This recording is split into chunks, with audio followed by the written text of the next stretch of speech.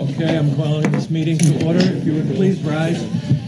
Chief Ayotte, would you lead us in our Pledge of Allegiance, please? Sir. I pledge allegiance to the flag of the United States of America and to the republic for which it stands, one nation, under God, indivisible, with liberty and justice for all. Thank you. Welcome, everyone, to the November 9th, 2017 Hampton Municipal Budget Committee. This is a workshop tonight. Um, My name is Stephen LeBranch. I'm the chairman. I would like the members to please introduce themselves, starting with Ginny Bridle Russell. Jenny Bridle Russell, School Board Representative. Sonny Kravitz. Brian Lapp. Steve Henderson. Regina Barnes, Board of Selectmen Rep. Mike Wolf. Danielle Augustine. Jones. David Mara. Bob Ladd, Village District Representative. Okay, and we have Barbara Kravitz here, our recording secretary.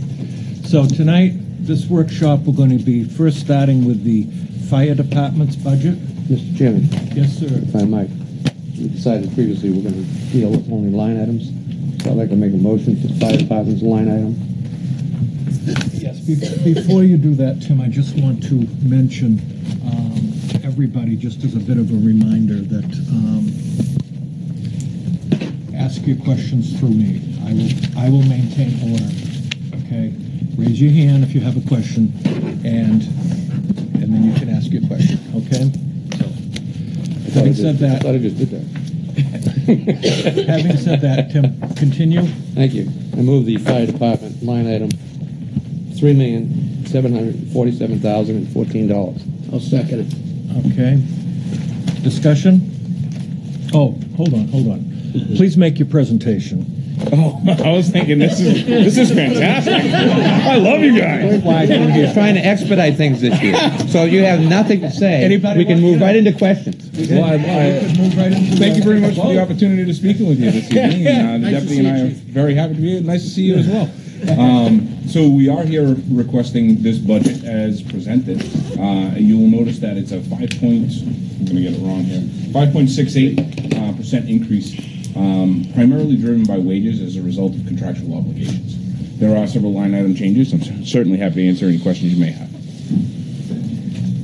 Um, I want to mention that the there are a couple of items that, um, that the town manager and the selectmen are looking at that would be taken out of this budget and paid for with money that's still in this year's budget.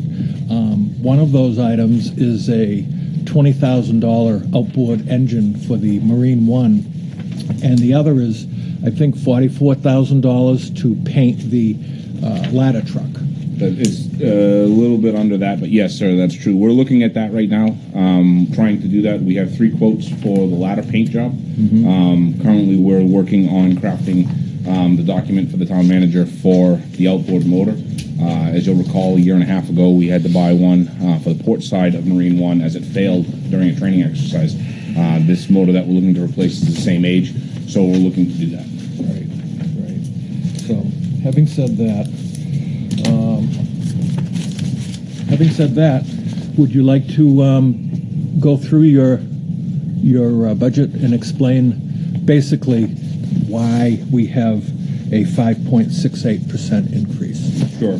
So generally speaking, like I said, the uh, collective bargaining agreements between the two unions, um, the, the local 2664 uh, contract was voted in the affirmative. So they received um, two pay raises in the subsequent years that followed. The additional uh, component to the contractual obligations there are so many of the new members. We had four new members in the last 12, 14 months. Um, they've all come of age, and so after the first year, the step agreements, uh, step raises that go along with the agreement. Um, the fire officers local 3017 uh, contract was not approved at that time, so the balance is is based on the firefighters at this at this point in time. All right. So the first block that we usually come to is the administrative side. All right. Um, regular wages, there was a wage adjustment as a result of the non-union wage increase granted by the Board of Selectmen for my salary. Um, holiday pay was an increase as there was no uh, assignment for the chief officers. So that's now been assigned as a line item and it's part of the budget. Any questions on those items up top? We The- move down to the. No, I I noticed that this, the uh, gasoline and diesel, those Sure. numbers are pretty solid, Christie. Those are through the end of September, so we will be updating those next. Okay. Okay, that'll get updated as well. Yeah, and you have the, the run rates, right? What we're using as far as uh, It's the, in the- the it's price in- per gallon. Yeah, it's in the book here. Yeah, it's a dollar eighty-four for gasoline, if I'm not mistaken, two oh nine for diesel. Right. Our marine fuel costs a little bit more, as you might imagine, so. Right, right, exactly. It's right, it's right in the book, on page 32 for everybody here. Right. Um, okay, anybody have any questions on this part? Tim, let me ask you a question. So, with the procedure that you have in mind, we won't ask any questions until he's presented all of it? Is that correct? Well, as I understood it, we were simply going to be making motions for line items only, which is what I did, and, uh, proceed as normal, with the presentation they want. And after that, people have can a ask. Roundtable discussion, no question. So, you know what, in that case, Chief, just continue on Right. throughout the entire budget. Okay, so uh, what I can tell you is above that, Mr. Uh, Mr. Chair, you'll see a twenty-five point nine nine percent increase. It's a, it's a percentage increase is very large, but the monetary increase is uh, is essentially very small. Um, That was for um, staff development, I believe. You see that line item? There was a new um, charge for uh, professional membership for one of our captains. So I believe that was hundred and seventy-five dollars. Uh, you'll see a 14.55% increase for supplies and expenses. As you may recall, a year and a half, two years ago now, I came before the board and I requested a copier. We were able to buy that out of end-of-year funds, and the total for that was about $7,155, uh, if memory serves. The first year of that agreement, we got free toner and the maintenance agreement. Now we have to pay for toner, and we also have to pay $216 a year for the maintenance agreement so that they can come in and, and maintain the, the new copier. So that that uh, accounts for the subsequent increase. Yes. Uh, we've already addressed gasoline and diesel, and I have not requested any new equipment for administration. Continue on. Yes, Ask please. a question. David? Is that, may I ask a question? Well, we just talked about this. We're going to do the questions after he makes his presentation. Yes, okay. So please continue on. So in fire suppression, you'll see that for the regular wages, we see an increase of 5.1%. Uh, this again goes with the contractual obligations for the percentage increase for uh, raises, uh, cost of living adjustment, and it also includes the step raises for each of the uh, firefighters that have come to that various step. The other thing that it includes this year, in June, I believe it was early June, we, we completed rescue swimmer and rescue boat operator training. And you know, I've sat before you before to discuss the importance of that. Uh, with that, we've got everybody except one firefighter now, I believe, that is certified as a rescue boat operator and a rescue swimmer. They also, as a result of that, have a one percent uh, stipend in their in their pay once they receive that that um, certificate. So that's their incentive. Uh, that adjusts uh, comes for the adjustment there. We're not looking to change any of the OT wages as we feel that that number works for us. Um, OT callback, I do believe we're remaining the same. You'll see an adjustment for the sick leave coverage. Uh, This was, the, the budget was fabricated for us here in June. We were, we handed in to Mr. Welch, and what I did is I looked at where we were in June and where we were headed. Um, It, it appeared to me that we would be passing uh, where we have been in the past. And with the contractual obligations, what I did is I took half the, the projected amount of increase and installed that into the budget. So I used the percentage increase plus what I projected us to be under uh, by the end of the year. Right now, we're doing very well in that line item if you look at our financials. Um, but we are one injury away, and knock wood, I don't wish that on any of us from expending that entire line item. Uh, vacation, uh, the 5.3 obviously is uh, right in line with the contractual obligations. Right. Fireworks detail is up 6.67%. That's a $500 increase. That's as a result of contractual obligations as well. This is for the fireworks details for the firefighters. Uh, they're on scene to help assist with the crowd control. They're also on scene to conduct any type of fire suppression that might occur as a result of the fireworks.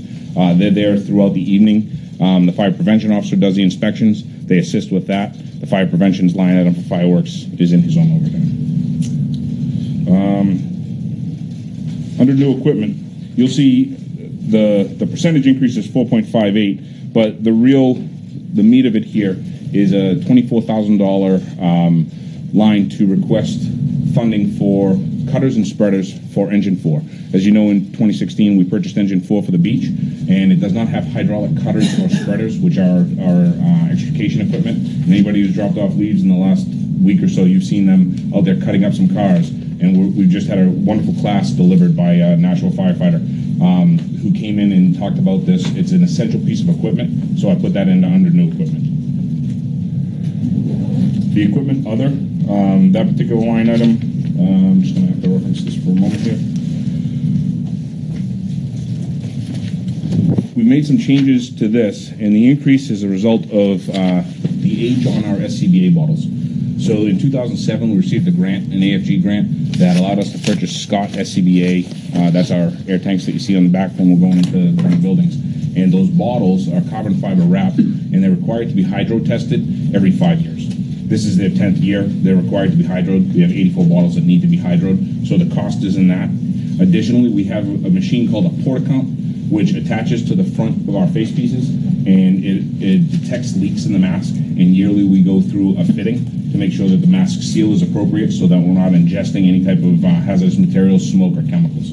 So we did not have a line item for the PortaCount prior to this. I added that to this line item in particular. Okay. The next line item for replacement equipment includes, if I'm not mistaken, the twenty thousand dollars for the Marine One starboard side motor. Um, we did reduce a couple other items in there, uh, all, to, to which, uh, SCBA bottle replacement, but that is primarily driven by the Marine One replacement for the starboard side motor. Okay. So going on to fire suppression, I mean, fire, uh, Prevention? Yeah. Uh, very little in the way, as a matter of fact, no increases. We've gone down on supplies and, and expenses because our fire prevention secretary, Stephanie Welsh, has done a tremendous job researching uh, how to get, it. anybody who's come to the open house knows that we provide rulers, pencils, uh, they say Hampton Fire Rescue on them. The kids are getting helmets, you know, and they, they leave with a goodie bag. And um, she did a tremendous job of finding a great resource in, in getting these supplies, and we were able to do it and secure it at a much better rate. So I put in there uh, the rate that reflects what we were able to find and project for next year. Thank you. Um, n- New, new equipment at zero. Uh, Training, Training. So medical services falls under training. This is primarily our uh, line item that we use for the physicals for pre-employment. Um, when we hire in, we need to do a full scanning of uh, cardiac, lung function. We do blood work, drug and alcohol tests, as you might imagine. Additionally, uh, there's a requirement for anybody performing any type of physical training up at the New Hampshire Fire Academy to uh, have a, a signed waiver that the doctor's done a physical on them. So we've built in here two extra physicals for the year so that they're able to go get a physical if anybody's looking to do uh, trench rescue or high angle rescue, rope rescue, that sort of thing. So we've actually partnered with Clear Choice at this time uh, out of Portsmouth.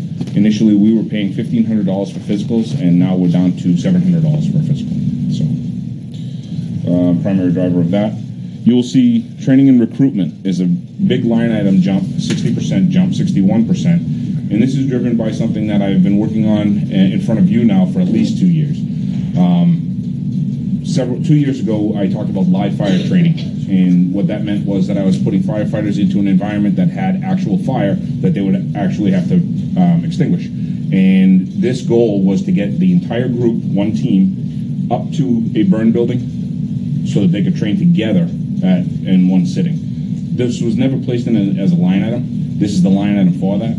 What we're looking to do is do fire training. So whether it's the ice rescue training that we have uh, coming up this winter, or trench rescue training, which has not taken place, uh, confined space rescue training, which has not taken place in s- uh, over a decade. Um, this will allow the entire team to go together as a group to, to do the training off-site. That's what that line item is for. thank you. You're welcome. Okay, communications. Uh, you'll see that there's a small decrease in the wages line item. We hired a new uh, fire alarm operator within the last 18 months, and the lower salary is reflected there. OT wages have gone up. They are their their salary is a little bit different the way it works out when they're paid. They're paid on a rotating system, unlike the firefighters, which is averaged out at 42 hours per week. Their salary is paid per pay period that they're working. So they'll have 40 hours plus eight hours of overtime, and then on one week they will have a 24-hour paycheck. Uh, so their their overtime works a little differently, and and in order to get a, a broad-based education across all boards, roll out SOPs, have communications, what we've also implemented, and you'll see the cost in this, is a quarterly meeting with three of the four fire alarm operators coming in off duty. So I'll pay them overtime. Uh, there will be a fourth, the fourth fire alarm operator on duty will be attending the meeting, and I will cover the overtime with firefighter overtime to cover fire alarm. So this will allow quarterly meetings so that we can exchange information in a timely fashion. Radio maintenance is the largest driver there. Uh, there have been some changes along with um, the increased maintenance on our aging radios. Some of our radios are out of compliance. Um, we're working on replacing all of the Astros, which are radios that were purchased on state funded grant, I believe, right, Stephanie? Uh, 16 years ago. Um, we function with them now, but they are past their serviceable date, and our our radio maintenance company, Two Way, it, they can't provide service to them anymore. There's no parts for them or anything like that. They're out of date. Additionally, we've had uh, some issues with paging system. We still use small pagers. They're called Minitors. Uh, you've seen us wearing them on our belts probably, and they, they start barking their speakers. And they'll they'll call out when there's coverage, if there's a fire, if there's coverage needed for medical aid or whatever it might be.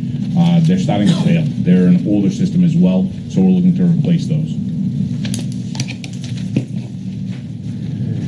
Repair services? Yep. Um, you'll see that we have increased that line item under vehicle maintenance by twenty-five percent. The biggest chunk driving that is obviously the thirty-three thousand dollars that we're looking to use to repaint the ladder truck. Uh, if you'll recall, we had to deadman, uh, engine two, the two thousand and one Smeal, as a result of frame problems. Um, it was a real big problem for us to do that. Uh, we've looked at all of our other apparatus. Engine three had some problems that were sanded off and were able to be repainted. We're also able to do that with the ladder truck. Uh, however, the exterior portion of the ladder truck, the cab and the body, uh, is showing w- where it's 11 years old and it's starting to bubble paint, especially around the hinges and the windshields. And before it becomes a maintenance nightmare, we're looking to repaint. Okay. Yes, sir. Fire stations and buildings? Yep. Uh, electric and heating fuel, you'll see I dropped. And the reason is that when I first sat before you, our new, our building was new. And we did not have experience in that building to know what it would cost. We were projecting only. Uh, based on our three years of experience in the building right now and looking back at what we've spent, we feel that these numbers, eh, especially if we're keeping in line with what the utility costs are right now currently, will project out that the cost savings will be reflected here, and that's why I subtracted as much as I did.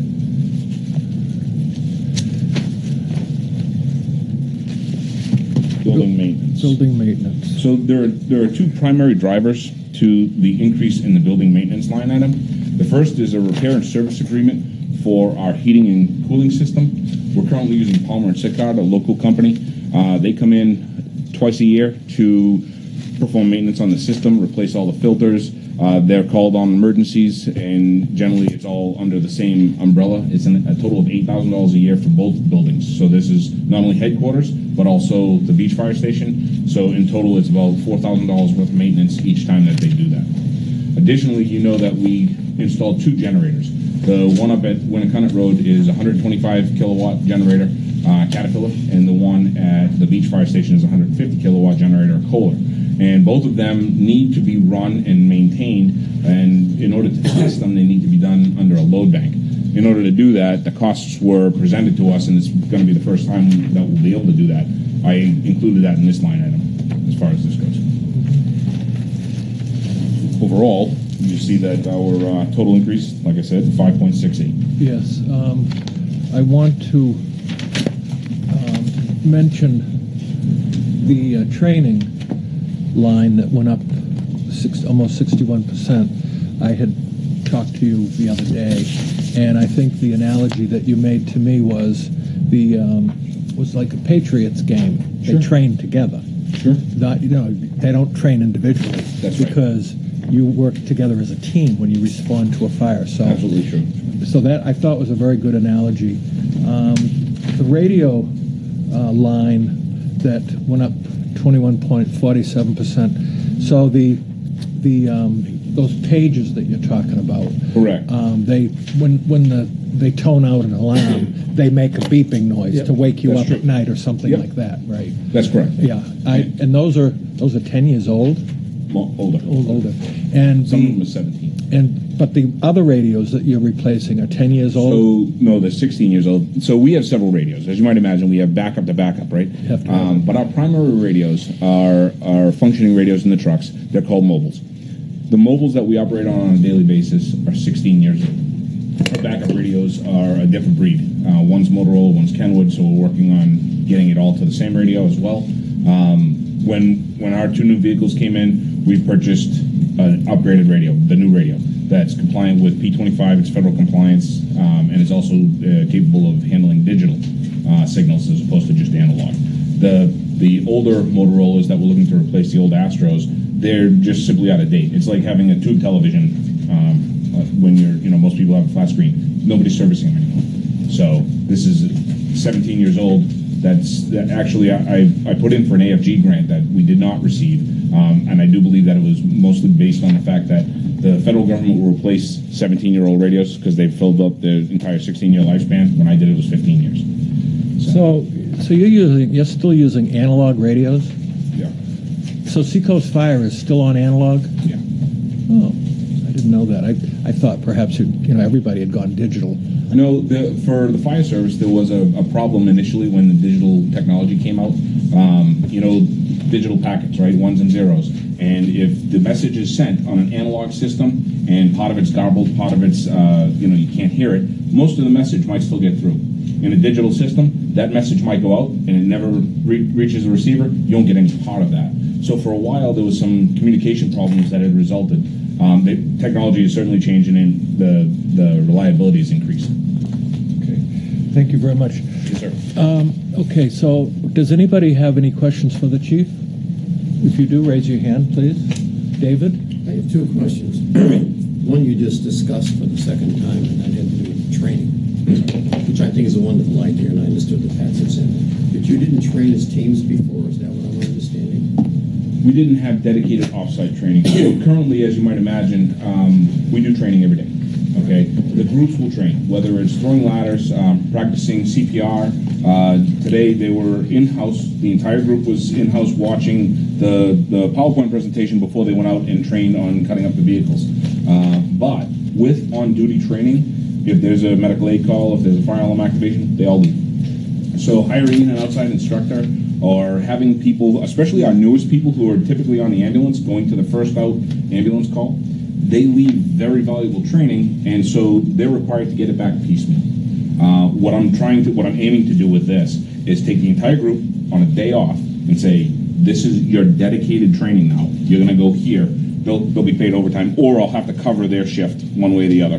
But they're going to go off-site and they're going to train, whatever it might be, a myriad of skills that are perishable uh, for firefighting. And they'll go train. They'll be off-site as an entire group, and they won't be disturbed.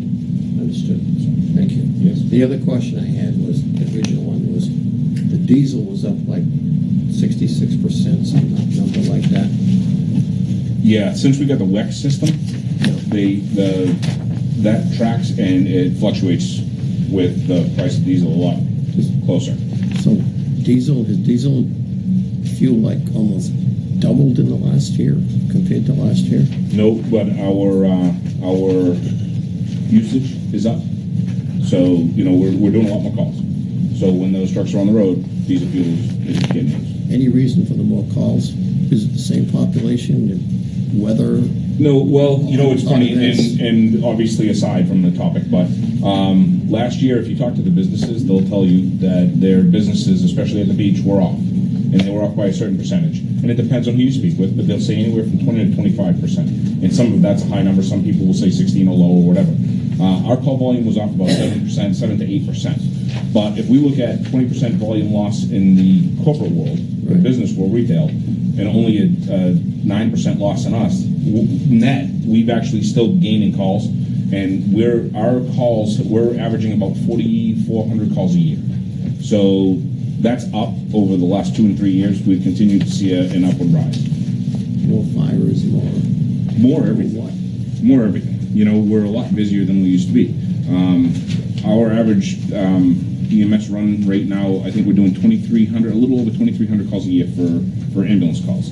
Uh, we do send fire engine to assist on some of those fire alarm uh, activations. We have a lot more buildings now that are protected by fire alarms, which cause us to go out and inspect them. And also, if there's if somebody burns food or if there's a smoke detector activation, sprinkler systems. We've had some rough winter weather in the last two years where down at the beach especially where the, the businesses are uh, vacant during the winter season um, and not heated necessarily or especially in, in areas that aren't sprinkler systems will fail we're running to those calls quite a bit so as we become much more code compliant and safer we're also experiencing different problems with an increased run call volume. Thank you. yes sir Hey, Bob, Are you satisfied all the safety equipment is state of the art that you're using?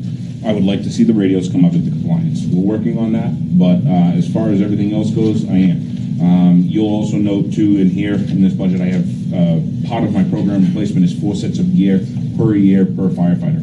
In 2009, we received a grant for 33 sets of gear, and um, we've been working since 20 2015, I think, right? To replace gear. We we did a a block of six units of gear that year, and then four each year thereafter, because after ten years, the gear is no longer reliable and they, they take it out of service. In twenty nineteen, that comes up. So we're getting everybody a new set of gear. Another goal for safety, though, Mr. Ladd, is that I would like to see everybody have a second set of gear.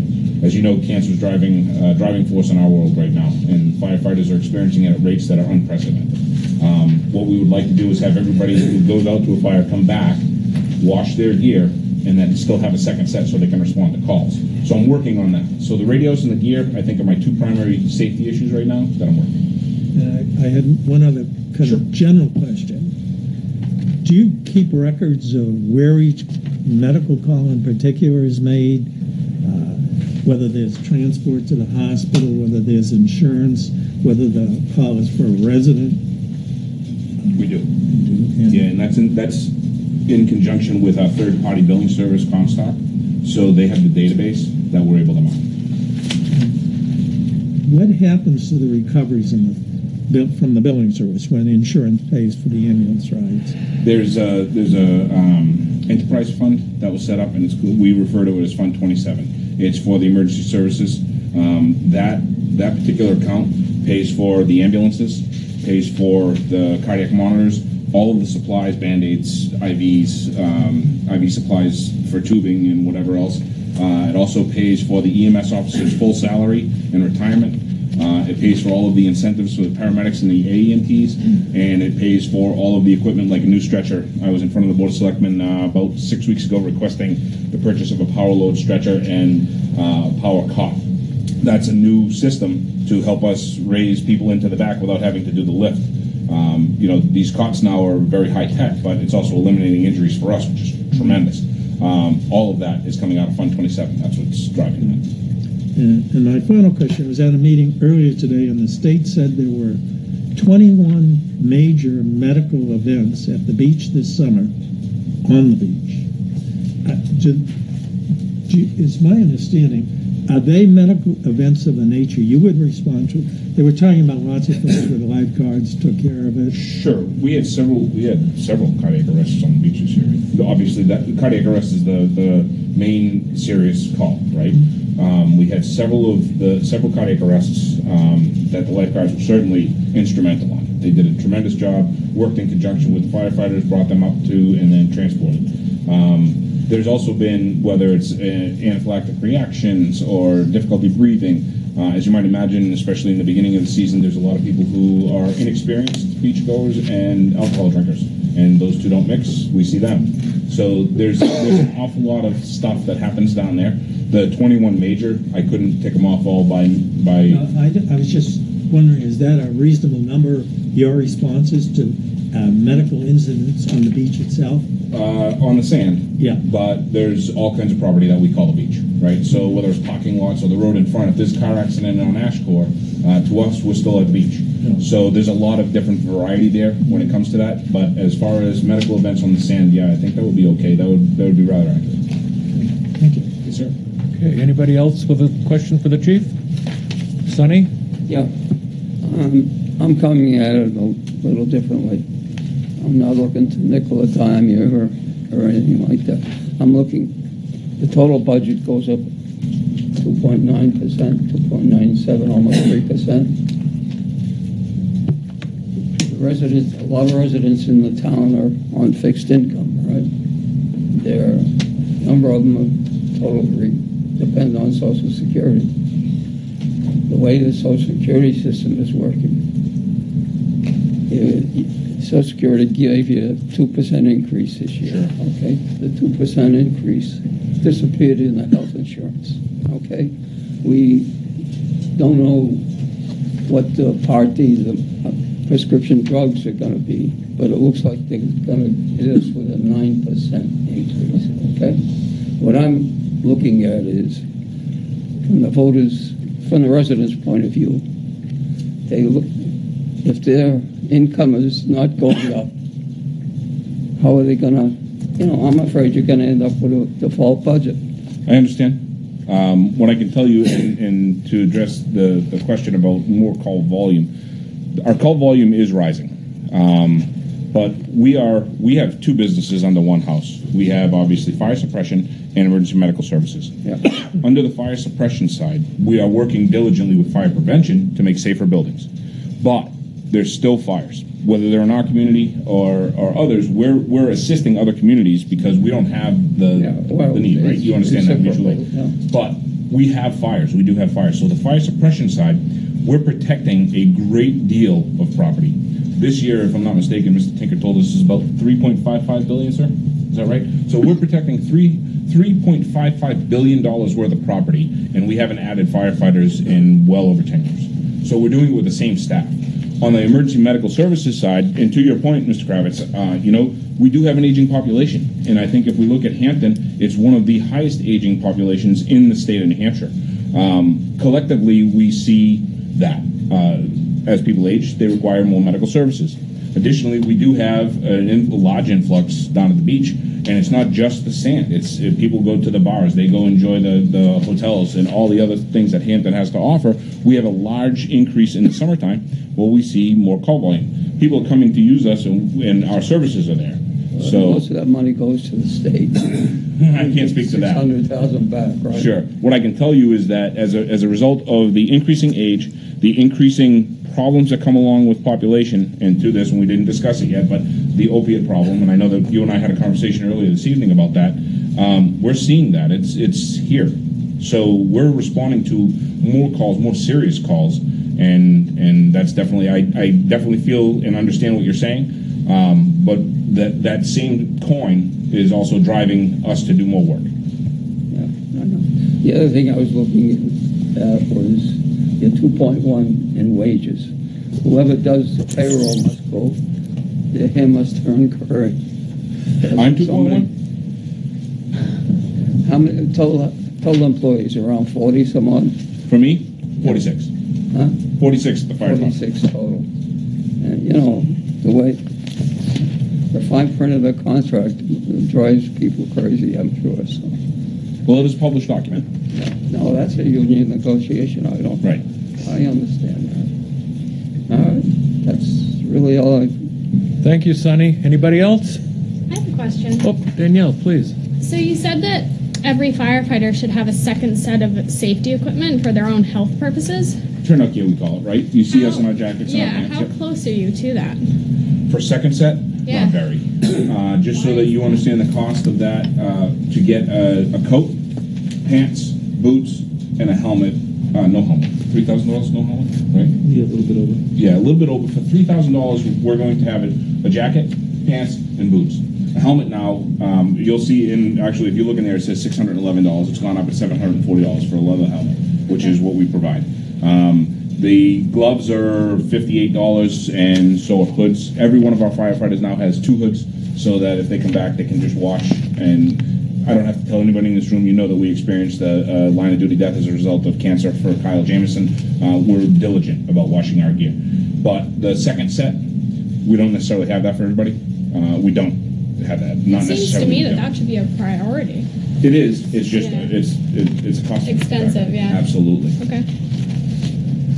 Anything else, Dan- Danielle? Okay, uh, I was Steve? gonna pretty much relate uh, what Danielle had said about as far as the equipment goes, you know, I mean, I've read the uh, surveys, I'm sure everybody else has, and seen all the increase in cancer and everything across the country with firefighters. So it is important that we get a uh, program together, and it's gotta be soon, you know, not, not later, not two years from now. We I need to get it going now in order to uh, decrease that number. And secondly, as far as the training goes, I know over the last few years, talking to different groups of firefighters, you know, one of the things they've said to me is they're not getting enough training. There isn't enough out there. So the fact that this new program, I know it's 59% uh, increase, but it's a small number. And then, you know, if that saves lives by getting these guys out there and train, it's been a big thing that they've, uh, you know, they've said to me, hey, training is uh, something we find important, but we're not getting enough. So I think it's a great program, and hopefully this all goes through. And the cancer thing is huge, so we have to do something about that in the very near future. So Yeah. Sure. I agree. Okay, Anybody else? Brian? First off, let's start this at the beginning. How many people are you short now? I'm not. So for the first time that I sit before you uh, since I've been here, we are fully staffed. So what that means is that every day begins at nine. However, we do something called running down, just so that you understand. Um, we have a captain here at headquarters, a lieutenant at the beach, and then there are seven firefighters on duty. So if there's one firefighter that's out, uh, each each one of the officers, the captain and lieutenant, if they're out, they're covered by another officer. Um, if a firefighter is out sick, vacation, injured, or whatever, uh, training, then that that first slot we don't fill. So that's a vacancy during the day. So they'll run at eight for the day instead of nine. Um, but otherwise, all of the positions are now filled. Fantastic. It really is. We've got some high quality candidates. I'm so proud. They're I'm great. proud of you guys, believe me. Um, I know you monitor all the signs and street lights. Do you also take care of the, like the new signs, like speed limit signs and things That I believe that? Chief Sawyer has been uh, dedicated to. Okay. True, Chief. Yeah. Glad to do it, Chief Sawyer. Happy, happy to back that bus. All right. Thank you. Yes, sir. Okay, um, anybody else first round? Okay, Sonny, second I round? have, I mentioned the fireman who spoke for the anti-democrats on the opiates. Yeah. I gather EMS is, keeps busy with, how many of the co- overdose calls? To date, I, I I couldn't tell you how many overdoses. We were at 40, I believe, the last time I spoke to the Board of Selectmen. Um, we are currently at eight overdose fatalities as a result of fentanyl, um, which is uh, it's a synthetic drug. Um, it- we we definitely have an issue here in the state of New Hampshire. Uh, we're not the highest community by any stretch of the imagination. We're about middle of the road, which is still not a designation that we like to accept, but it's it's something that our our providers see got the beach to, to make it worse. Um, it's it's it's not just the beach; it's everywhere. The entire community is affected. Uh, Another question. Town like Exeter, about the same size. What's their fire budget compared to ours? Uh, I don't know. I, I honestly don't know. I haven't talked to the chief. I was just curious. They're similar, but they they have some major differences. They're only they're staffed at five per day. Um, I do know that, and they have one fire station. They also do not have a seasonal influx. They don't have the events that we have or any of the, the need as far as that goes. We we still remain, and if I'm not mistaken, now as a result of the the changes that have occurred at the weirs, Hampton remains um, the the conflagration risk for the state of New Hampshire. So the beach, as you know from historic you know times, uh, fire happens, and when it does, in communities that are so where buildings are so close to each other, uh, that, that's a real big problem. The population density and the buildings down at the beach remain a conflagration risk. We are working to make them more code compliant with sprinkler systems and early detection smoke detectors, but that that that threat remains. All set, Sonny? Yeah, all right. Anybody else with any questions? Oh, I'm sorry, go ahead, Jenny. How many of the 45 have second, second um, gear? on Could- both. yeah. Can you get us that? Yeah. Absolutely. Okay, that way, if we could get, have that, that would be great. Sure. Okay. Anyone else? Tim? Yes, uh, I think Jenny makes a good point. We'd like to know what the going forward risk is on that, I'll have Sure. to replace this. But that, that equipment is very personal, right, to each firefighter? Yes, absolutely. So we need to be sure that, we can't just take the equipment and say, oh, it's good for 10 years, because that person as an employee may not be here Right? That's true. Okay, uh, but however, to, to that uh, point, Mr. Jones, we have hired some people who, uh, as a matter of fact, I'm wearing pants that were not sized for me. They were just, you know, but I, am not doing what the firefighters do. Like they said. These are, yeah. yeah. But uh, in general, there, there, was some spare gear, and we would use that um, if, if a new firefighter came in, they were issued spare gear. And there was actually a firefighter who's been here now for five years. I, I was fortunate enough to hire him who just got his first set of issued gear last last week. Right, so so when we look at that, they, he was in a set of borrowed gear for five years. Um, but there were other people who really needed to get their gear replaced. Um, gear is good for 10 years according to the NFPA standard. However, if you are experiencing high heat due to fire, you'll have changes that need to have that replaced. Um, crawling around on your hands and knees damages the gear. It's very tough. It's made of Kevlar and Nomex, but it, glass still tears it, and you know the wear and tear. Sunlight, UV light, will actually cause the fibers to break down. So we've got a maintenance thing that we're working on, and we are trying to get everybody a set of new gear. Yeah, the main reason they brought it up was to point out that it wasn't a simple numerical calculation to figure out what our going forward uh, costs would be because of these variants. Uh, But it would be nice if we get it, but I think there's so many variants that we may not be able to get a rational number, so. Um, Notice you spoke about, um, what you referred to as Fund 27, and um, that was related to funding all of the EMS stuff, right? Correct. So all of the EMS stuff paid out of Fund 27. Training, the EMS officer's uh, car, the EMS officer's salary, all of that. Yeah. So nothing in your budget was related to EMS. Um, most of the funding comes from 27. I don't believe there's any items in here that we pay for EMS. So it's a very clean line of demarcation between the functions. Absolutely. Excellent. Well, budgetarily, yes. Right, well, Yeah. right, that's what we hear about. Right. This is money. Right. The money is good, clear demarcation to it. Right. Uh, I know operationally it doesn't necessarily, but Correct. money-wise it does, and that's great. I appreciate that.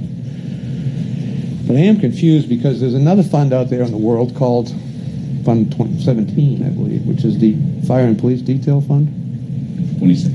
Is it 26? Okay, thank you. Can't remember those numbers, but I can remember the names. So the Fire and Police Detail Fund is a same, similar fund to 27, except for it deals with fire and police details, right? Uh, true, Okay, but but, so I find it odd that uh, in your budget you have a detail uh, wages in here when it seems to me that that should be drawn out of the uh, fire and detail budget. So because you, it's it's. Mm-hmm. labeled, it's labeled detail, fireworks detail, because we detail a firefighter to the, to that location for a duration. Um, but the Board of Selectmen, this was a, this was a result of negotiations between the Hampton Beach Precinct, Board of Selectmen, they decided. Village district. Village, thank you. Um, the fireworks sponsored by the, the precinct, Village district. yep, um, I like. Yeah, but legally I it's do called the too. village district. So the village district. I'd like to call it places- something else, but legally it's the village district. great people. Um, so they, they sponsor the, the Wednesday fireworks, the um, the holiday fireworks. We have one more shoot coming up on New Year's Eve.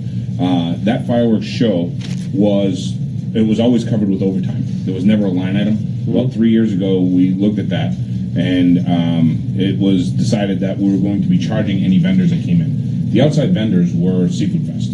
Seriously, they they're the, they were the only vendor other than the, the village district. So there was a discussion with the board of selectmen and the village district to keep that in the budget, and that's why that line item exists. So it can pay for the firefighters to go down there and work. But we call it a detail. It's not a paid detail, similar to what you're talking about with the 26 fund. It's not a private vendor detail, which the 26 fund is, is private vendors funded. As opposed to a public vendor, as you were saying. Well, as opposed to a budget line item. Right. Well, you, you seem to emphasize the word private in your private. Verizon, somebody, somebody like that, Right. they're paying for it. So it's private and public, and the detailed 26 fund. But you've got a separate line item here, and or a sub-line item. Actually, it's not a line item, it's a sub-line item. Yeah. And I, I just want to note that in 2016, you had zero budgeted for it. 2017, you had seven and a half thousand budgeted for it. And this year, you're going up to 8,000 for it. And you're saying is that subline item is entirely dedicated to the village district fireworks. Correct. Okay. So that's basically underwriting a function of the village district operations. It's underwriting a function of the fire department. But where the the village district, in order to have fireworks, needs to have the fire department there. That's part of the expense of the, right, and that's fine. But it is an underwriting of their operation. In my mind. I'm not asking a question, I'm making a statement. Radio maintenance continues to go up and continues to be confusing to me that we're wor- working on what appears to be increasingly, obviously, ancient equipment. I'd like to see something done about that, maybe, maybe next year or whatever. but- Yeah. So that you understand, um, uh, we've been working in conjunction with the police department on this too, because in 2018, there are gonna be some changes coming about. So we're working hard on making sure that we have current equipment. Yeah, I particularly enjoy the radio maintenance topic with the police every year. so I'm sure. I'm sure Rich is looking forward to it again this year. That was on my bus, sir. Was on my bus. Building maintenance is up seventeen plus percent. Yeah, as I described, we now have an agreement with uh, Palmer Sicard for heating and cooling, which we didn't have for a maintenance agreement, plus our generators need to be Yeah, I placed wanted on to load ask you about testing. those generators. Are those are new generators? What did you do with the old generators? The old generator that we had only at the Winnacunnet Road Station Okay. um, was brought to DPW and is now powering, and I don't know if was sewer plant or wherever it went, but it went down there. So it's actually working for us down at the sewer plant. So we should ask the DPW about that, and that's fine. Sure. Thanks. It's a, it was a used generator. that- It was a 60 kW, I believe, that they took down there. Um, the one out of the beach fire station was an ancient relic that was it was really an- just an engine that somebody had really rewired. So that I don't think that made it through demolition. To be honest with you, So it was demolished? probably Uh, the new generators, are they natural gas, diesel, or gasoline? They're diesel both. Diesel. Did you consider natural gas? I'm just curious. Uh, that was before my time. I was hired the time Okay. that the fire stations came online. Thank you, Chief. Okay. I appreciate the, uh, the, uh, the accounting and the detailed pages on your, on your budget. This year seems to be a little bit more, uh, robust than previously. I appreciate that, and, uh, I thank you. Thank you. Anybody else have a question? Sonny again? Oh, okay, good question. Normally, if there's a fire in South Hampton, you get called. Rye, you get called. Right? Is there any regional cooperation in, in buying the equipment? So typically, no. Um, equipment ages, as you might imagine, and as I've spoken to you, what we're trying to do is maintain the the frontline equipment ten years, and then ten years in reserve. Um, we're not on the same cycle as other communities, and our use rate is certainly higher than North Hampton or South Hampton. Um, when we get into that, there's there's no um, consortium buying either. So what we do instead is we look at buying off of uh, state bid lists. So it's the lowest possible price, and that's what we're doing to, to purchase. But there's no no means to do a consortium bid. All set, Sonny? Is that accurate? Okay, anybody else? Seeing none. We have a motion on the floor with a second, but as I pointed out at the beginning, the final number um, could very well change, um, and we'll know that shortly. So what is the wish of the committee? Do you wish to uh, vote on this number that we have now? Well, what changes is speculative. I think we should just vote on it, move on. If there's changes proposed subsequently, All right. we can vote on those changes. All right, so we have a motion on the floor and seconded. All those in favor? Uh, Nick, Can I ask you, please, what is the exact amount of the motion? Jim, you made the motion. It's, it's on, it's on the video. Three million, seven hundred forty-seven thousand and fourteen dollars. Is that right, Christie? Kristen? And the second was? Somebody else? yeah. Okay, all those in favor? Raise your hand. I see most everybody. All those opposed? And Sonny is abstaining. Everybody else voted yes. Thank you very much, Chief. Thank you all so much. Have a great night. Thank you. Thank you. Certainly. Chief and Deputy Chief, thank you both. Okay, now, we have the Police Department. Okay, let me see if I can find that. Here we are.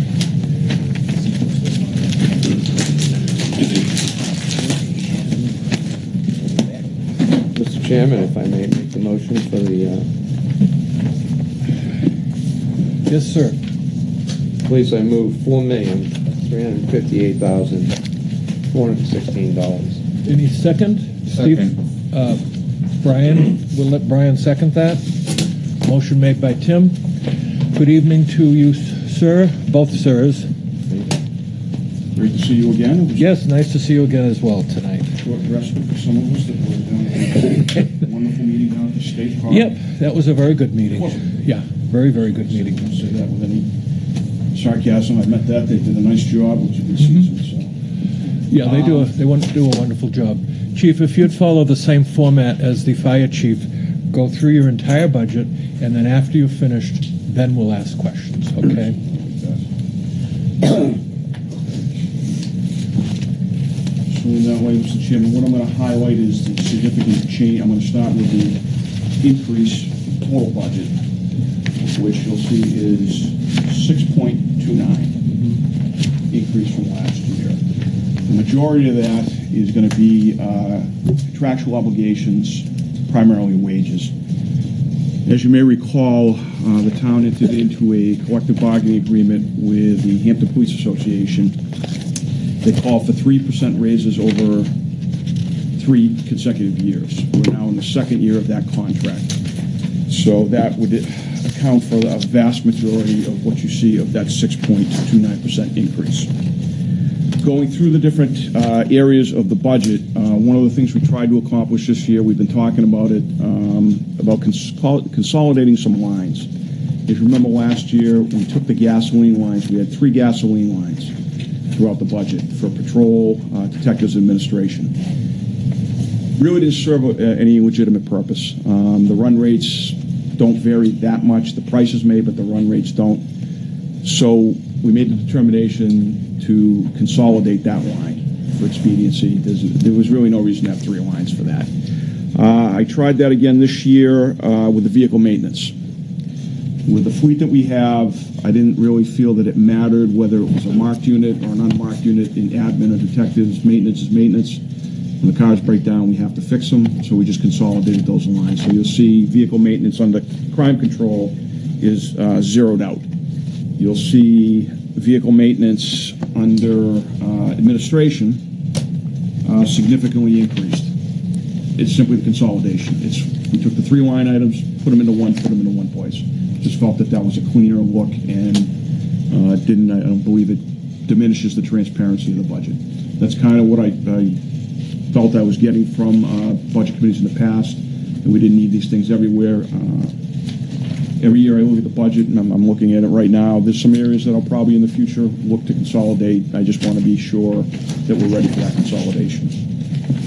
So when you look at administration, uh, you have a 13.45 increase. Uh, We did some work on the OT wages. That is due to overtime for administration personnel, uh, summer prosecutor's office, support, records. Uh, Some computer development repair reflects pay for officers assigned to develop and repair the computer system. It was based on six hours uh, per week of average overtime rate. We maintain most of our system with folks inside the building, and they are in variable, various places within the department. So instead of paying overtime out of those varying depart, uh, areas of the department, we just want to consolidate the money that we're spending on that area because it's becoming a very big concern, not only in the department, but in the town. IT is a big topic, and, you know, we want to try to get as accurate as we can with what we're spending in that area, um, primarily for the future. So those are the two biggest increases that you see in administration. You do see some uh, reductions, uh, rentals and leases. We knocked that down significantly. Um, due to some consolidation and movement around uh, of the money into other accounts. 93% up on the computer supplies and expenses. We're trying to be more accurate uh, based on what we're spending out of those lines. Um, That is really it in those areas. As far as, did you want to go section by section or the entire budget? Do the entire budget, please. Traffic control and patrol is only up, uh, Wait, wait, wait. Crime control and investigation. I'm sorry. I think you skipped.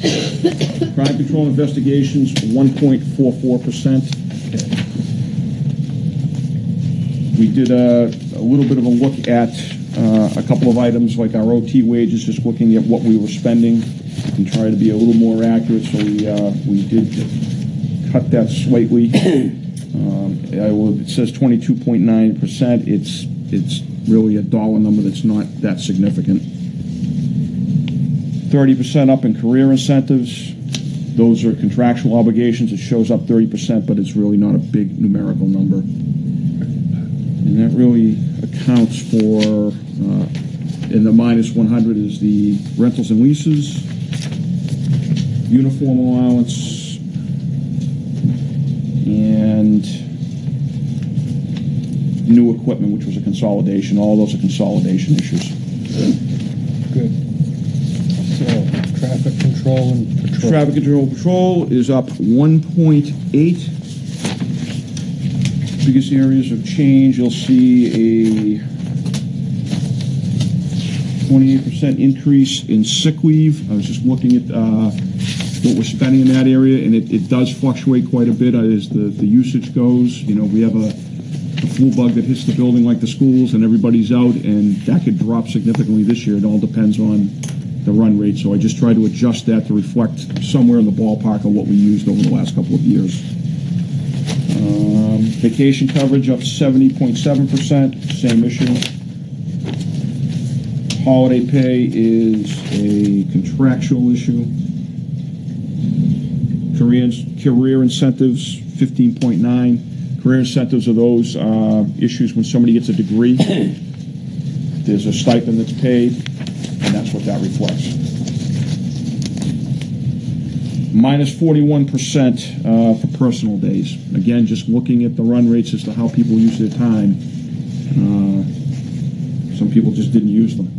They don't use them, they lose them, but that happens from time to time. Consultants, uh, we consolidated, so that was minus 100%. That was only $250. Vehicle maintenance, again, we, we merged. Replacement equipment, uh, just looking at what we were spending. Uh, and we do get some opportunities for donations from other entities, so we're utilizing that a lot. So we're down 29% in that. Vehicle replacement, uh, minus 34%. Training and recruitment, we zeroed that out, we consolidated uh, that line. Oh, pardon me, we left that even. And that's all for traffic uh, control, and again, that's 1.8% increase. Right, training. Training uh, is a significant bump, and that's due to consolidation. Things we're going to do in training, trying to just, again, taking some of the line, like the detectives training, we, we that's really specialized, so we left that in there. But the administrative training and the patrol training and the stuff we do with the special officers, we're trying to keep that more into one uh, one area.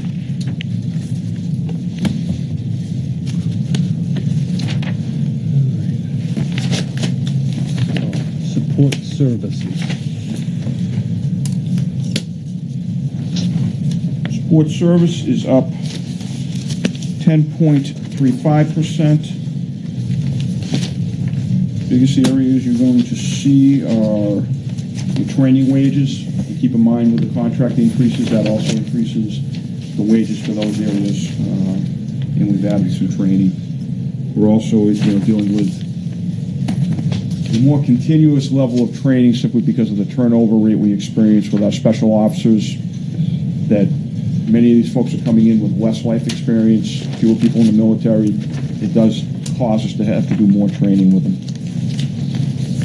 Court wages, uh, just a reflection, a little bit uh, more in line with what we're spending. Uniform pay, that's a contractual obligation. Vacation coverage you'll see is up 48.9, that's just a reflection of what we're seeing over a time period.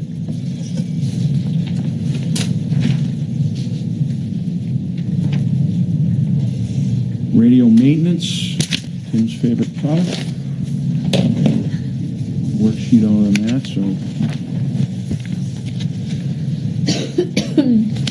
One of the big things we've added is our portable radios. Uh, we are still carrying some of the first generation digital radios that can no longer be maintained. So as those die out on us, we can't get them replaced or repaired with the same radio. So we want to institute a program of buying six new portable radios at a cost of $3,000 each, each year, similar to what we do with the cruisers. When we buy the cruisers, we also buy a new computer. About three years, they start becoming obsolete. We start having failures with them. So we buy a new computer when we buy the new car. We want to get into a program of buying six new radios just so we can stay ahead uh, with the radio so we're not buying these the last second and having to wait on them. We have them in our inventory as the old ones start to fail. PD uniform allowance is 12.5, that's contractual. Uh, Supplies and expenses, you'll see mine's 100%, we consolidated in there. Training and recruitment is 75.84.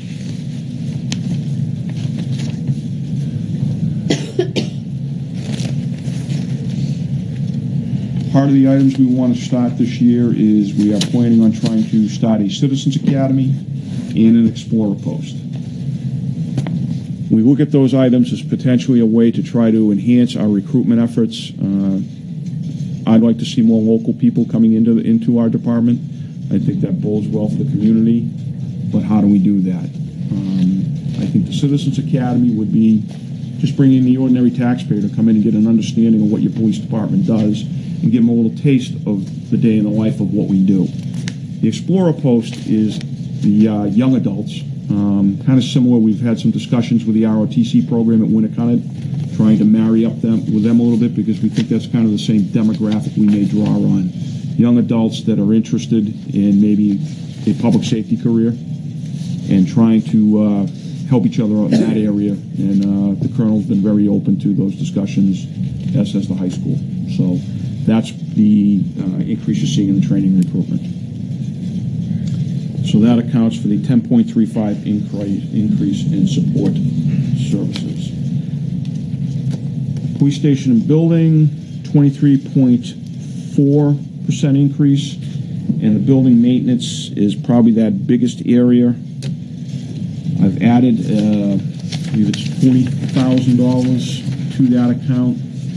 Uh, simply put, every year for the last, since I've been chief, we experience some failure of a key component of the facility, uh, be it HVAC, airflow handlers, gates, lights. Building's 12 years old. We're in a, in a saltwater environment, and we have been experiencing uh, those failures. You know, we'll, we'll get a bill for 12 to 15,000, 30,000, depending on what it is.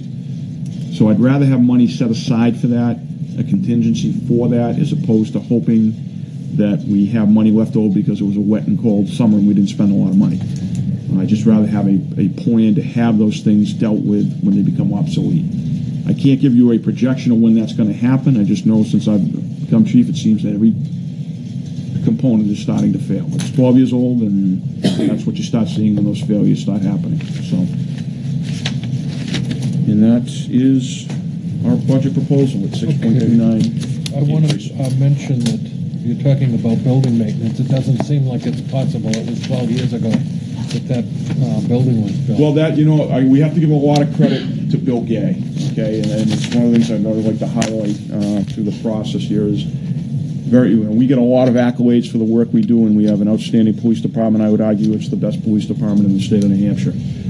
But that doesn't happen without some of the folks like Bill Gay, Pete McKinnon, who retired. Uh, we just lost Marcia Hess. Those people uh, that are the support mechanism so the police officers can go out and do the police work. um, and come back to a building that's clean, uh, a booking room that's clean because of the, the, the hazmat issues we have or the cruises. These people do miraculous work and they- they just don't get enough credit for it, but that's why that building works as good as it does 12 years later. And I'd, I'd like to say that um, maintaining the, the two wonderful new fire stations, maintaining the police department, I would rather you maintained it than uh, the issue that we have, for instance, with the wastewater treatment plant, is, which is something that we're going to get to next, the next time we meet. But I'd rather that the public buildings are maintained properly, you know?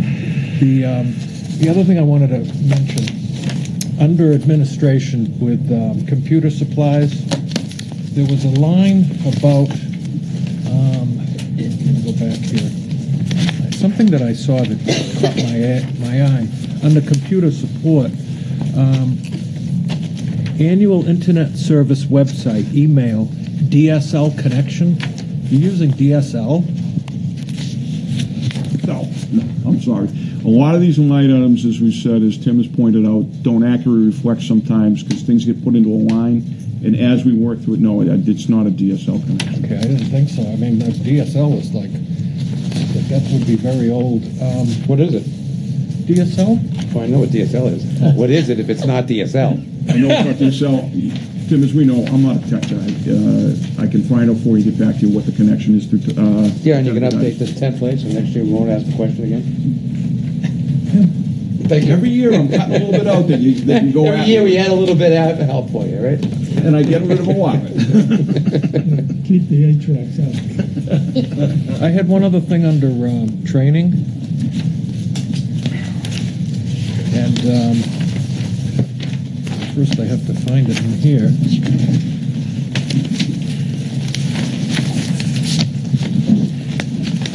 Anybody know what page that's on?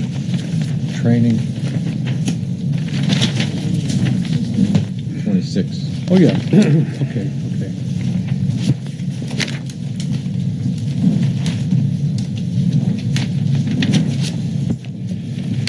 Um, I just wanted to mention it, training and recruitment, and then it lists in the book on page 27, um, the, the amount of, um, just, I thought it was astounding, the cases of uh, ammunition for training, you know, you, you guys go through a lot of lead, huh? We do. Um, uh, I'll, uh, let me explain that to you. We are required, each officer in the state of New Hampshire is required by police standards and training to qualify once a year. That is an incredibly substandard, in my opinion. I get why they do it because they're the governing body for the entire state. That includes the smallest de- department up north that you can think of, all the way to Manchester State Police, us Salem, the bigger departments. It's not sufficient, in my opinion, uh, and the other thing you got to remember is there's a high turnover rate in law enforcement across the country. And many of the people coming in have never used a firearm in their life. So that takes a considerable lot more training and some, what was the term we would use for that with people that are struggling? Retraining or uh, more one-on-one time with an instructor as opposed to being lined up with six other officers we're trying to really work with the people that are coming into the field, and it's a, it is a different group of people these days. It's just that's not good or bad. It's just the way it is. So they do need more one-on-one time. They do need more time on the range and more acclimation to firearms because they just don't have that uh, in their previous life. I guess the, uh, the other thing that I noticed, going through this line by line, the 60 cases of handgun training ammunition is different than the uh, duty, the duty ammunition? Yes, what that is is the fa- uh, it's a less of a standard ammo. The ammo that you get uh, if you went to into a store to carry in your own handgun, there's all kinds of different uh, ammo that's available. We use an, an, an ammo that we believe is ballistically sound for our purposes as law enforcement, whereas the target ammo is what could be considered the military would refer to as a ball round. so when you go to a military training, the ammo you may fire through a training is not the same ammo you may load into your weapon if you're going out into the field into a combat situation. greater ballistic penetration uh, with the duty ammo as opposed to a ball round. It's a different ballistics, but it suits the need for punching the hole in the paper and getting the person acclimated and trained to be accurate with it, as opposed to the duty round. So that's why the duty round is much more expensive. I think it's very interesting. I had a, uh, a friend once that was a policeman in one of the communities, and I said, "How often do you fire your gun?" Oh, we go through cases of uh, of ammo. It, it, I was amazed. I was amazed at how often you end up, you know, using your weapon. Um, you don't have to tell me how many times, you, but it was quite amazing. It's, it- it's a liability issue. We have to make sure that the officers are trained properly, accurately, and we've added so much more. We have we have a great group of, of trainers at the PD. Quite frankly, that again, not to brag, they're probably the best in the state.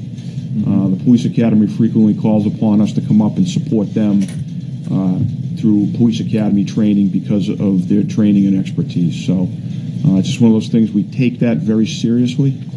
Um, it, it's a liability shield for the town to make sure these officers train consistently, and that's why. Yeah, this this quite it's quite a list of uh, these items that you end up buying that you know civilians we don't. I, I was reading this and I thought, my God, you know, look at all this stuff: rifles and and uh, bean bags, bean bag that you shoot out of the all kinds of this. It's, it's an amazing list of, uh, items. Anyway, that's all I have. Anybody have any questions, David? Just a quick one, you said you go up and train other, at the academy. Yes. Does Hampton get paid for that, reimbursed? No, I use I do that as a support to the police academy. I believe it's essential uh, for all of us in the state to make sure that we put out the best police officers we can in the state. This And right- like a volunteer program.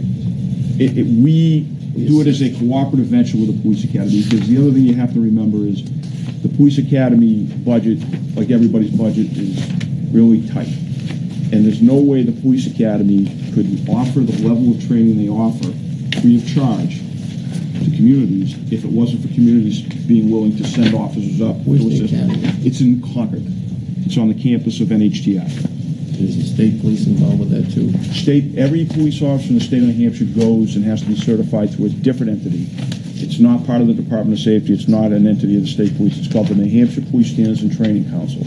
They are the governing body for all law enforcement in the state for uh, certifications and what that entails. So they run the police academy as a separate entity. Every officer in the state, from fishing game to municipal to sheriffs to state police, goes to the same academy. Bob? I'd ask you the same question I asked the fire chief. Are you satisfied the safety equipment is state of the art, officers?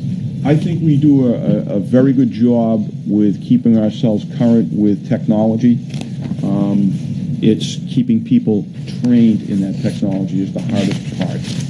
Uh, again, we experience the turnover rate, and so we have to spend a considerable amount of our time getting these people up to speed and competent so they can go out and work in one of the, the most challenging law enforcement environments, I would argue, in, the, in all of New England just to see them shortly thereafter leave after one summer or two. So we have an old, whole new batch of people coming in. And again, it's just, it's not, when I came on the job, there was a lot of people coming out of the military, there was a lot of people with life experience. We're, because of the competitiveness of officers, we hired nine officers, part-time officers this year. But we're already at negative three.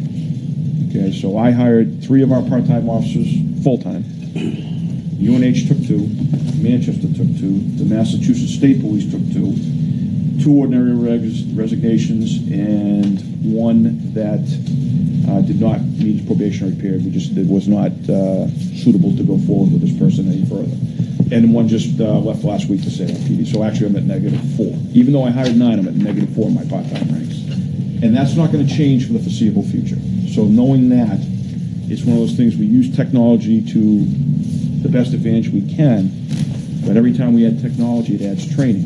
You remember a couple years ago, we were finally able to get funding to provide tasers to all our part-time officers, which prior it was only full-time that carried them. Today, it's, it's, it's a rarity to see an officer anywhere that's not carrying a taser. Mm-hmm. Yet we had more than half of our sworn officers walking around without one in a an environment where we use walking beats. We are with the public. We are amongst the public more than any other department in the state for a 12 week period. Not many departments still have walking beats. We do, uh, just because of the environment we work in. So we have to use technology, but with technology comes expense of the technology, but making the officer competent. So I think we do a good job with it. I don't, there may be some things we're looking at in the future. Uh, plate readers and stuff for the cruisers have now been legalized in a limited fashion in the state, so we may be using stuff like that. Uh, And if we can use technology to offset the lack of officers, then we try to do that too.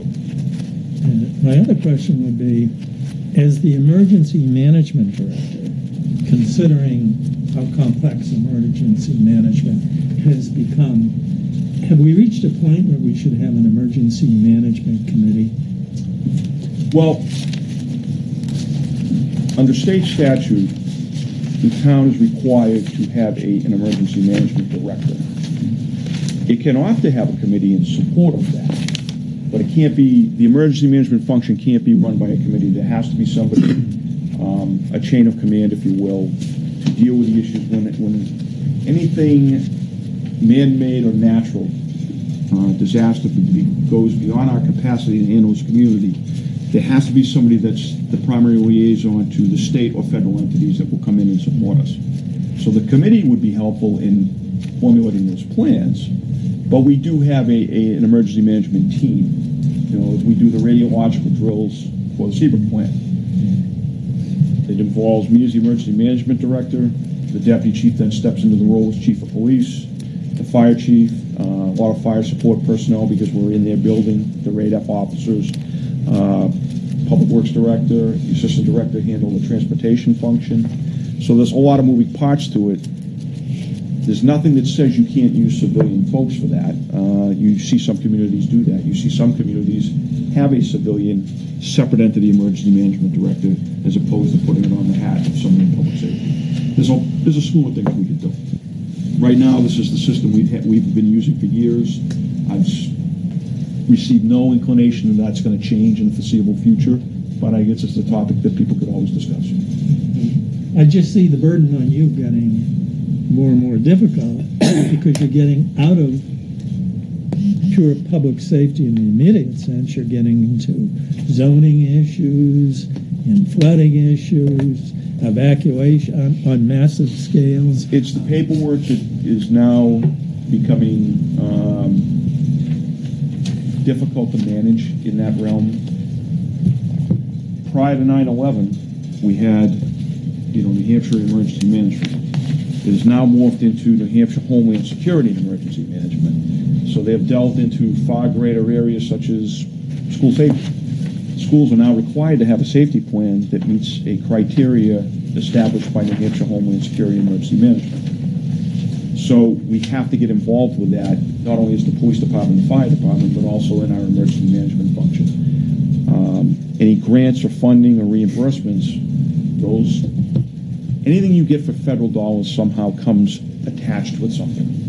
Okay, if you want highway safety money, have to do certain things that they tell you to do. And you may not want to do them as a community, but if you want those dollars, you have to comply. It's kind of similar to why every state in the country has a drinking age of 21. It's not, people think it's a federal law. It's not a federal law. Every state has had to enact a statute that mandates the alcohol consumption level to be 21. And if you don't, you don't get any federal highway funding. The state of Vermont several years ago actually tinkered with going back to 18 because they thought the revenue they'd make from the alcohol sales would be superior to the highway money they get because they're the most rural state in the country as far as highway miles go. So those are the things when you get involved. It's great when somebody says, "Hey, get a grant or get this money."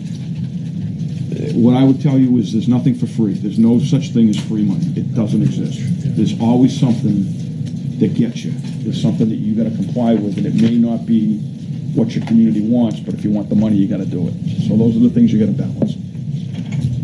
It just seems like it's too much to expect of you as an individual.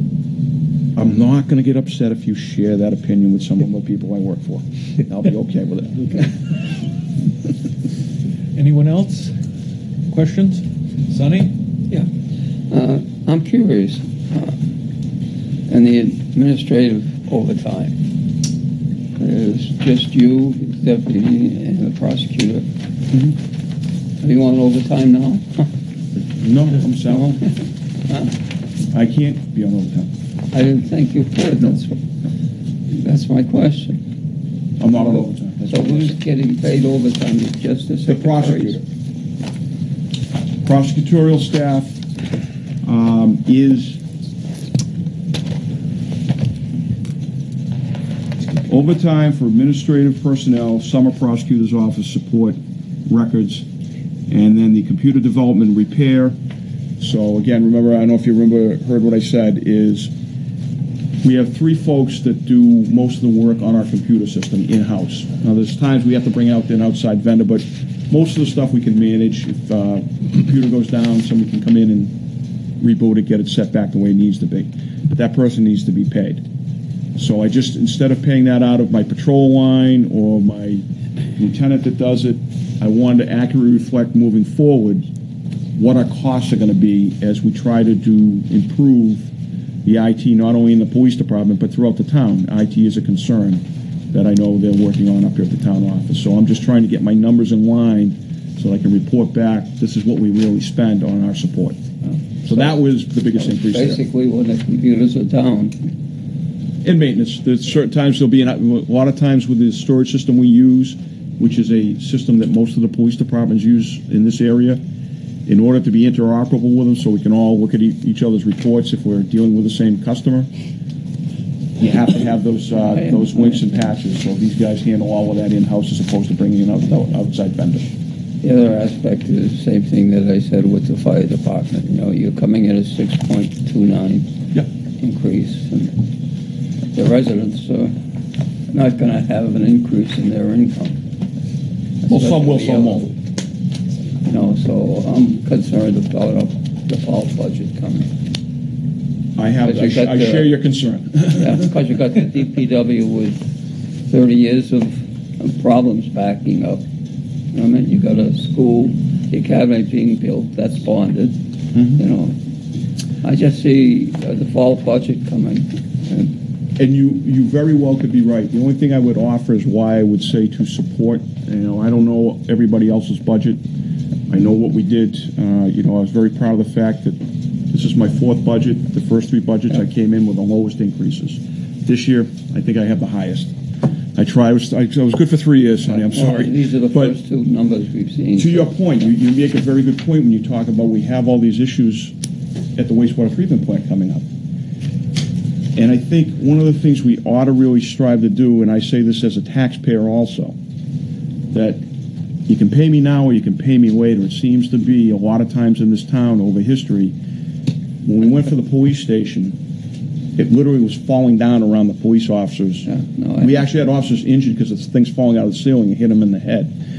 And I'd like to see that we don't wait till things break down before we do them. So I share your concern about the default. My only thing is, there are things that need to be done so we don't run into a wastewater treatment plant I'm issue. not that- questioning the, I'm not. No, I, I- I'm yeah. sharing you as a, as But a I fellow mean, uh, taxpayer. the, the retirement system, you know, twenty years from now, the, the residents are gonna be paying the shortfall because they projected the returns of eight percent, now it's seven percent. Have you read the most recent things on the, on the retirement system? Have you read the most recent stuff on the retirement system? I think you'll be, your fears will be alleviated on that one.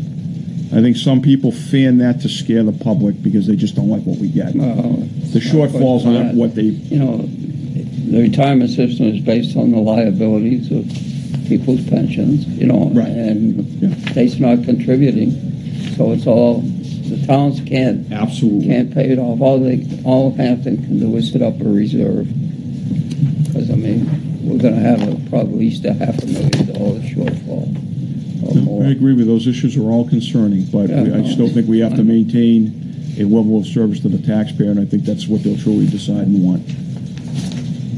Anybody else? Yes, Tim? if I must. Go ahead. You don't have to, Tim. You sure, Rich? Go ahead, let's go. Just so people at home know, we get a book, and in that book, we get a bunch of line items and with totals on them, and then we have details that back up those sub-line items. Hopefully. and it has a total on it, Which one's wrong? which is wrong. Which one's wrong? That's I don't know. That's my question. The, the detailed one, the detailed one has, um, twenty-seven thousand eight hundred and five dollars more than the one with the subline items. So, Which one, if you would? page, page thirty reflects twenty-seven thousand eight hundred and five dollars more than what we just motioned for.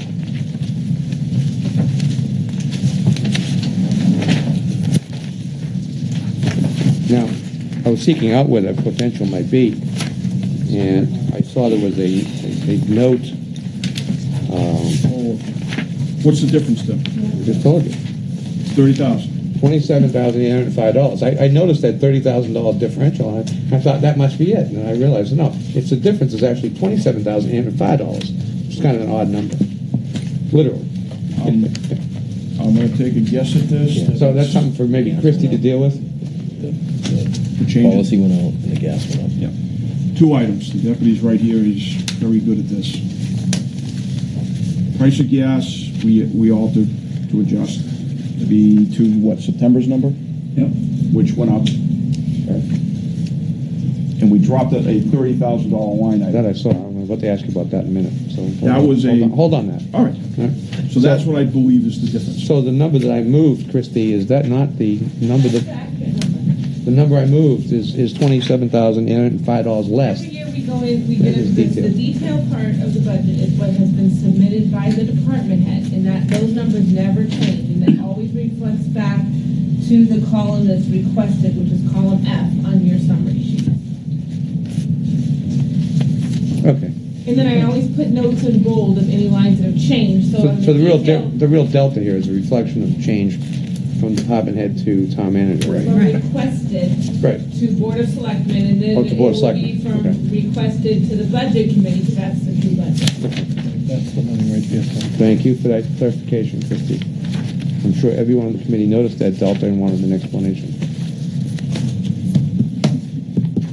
I see you Citizens Academy here. Yeah. I love that name. We named it after you. I love that name.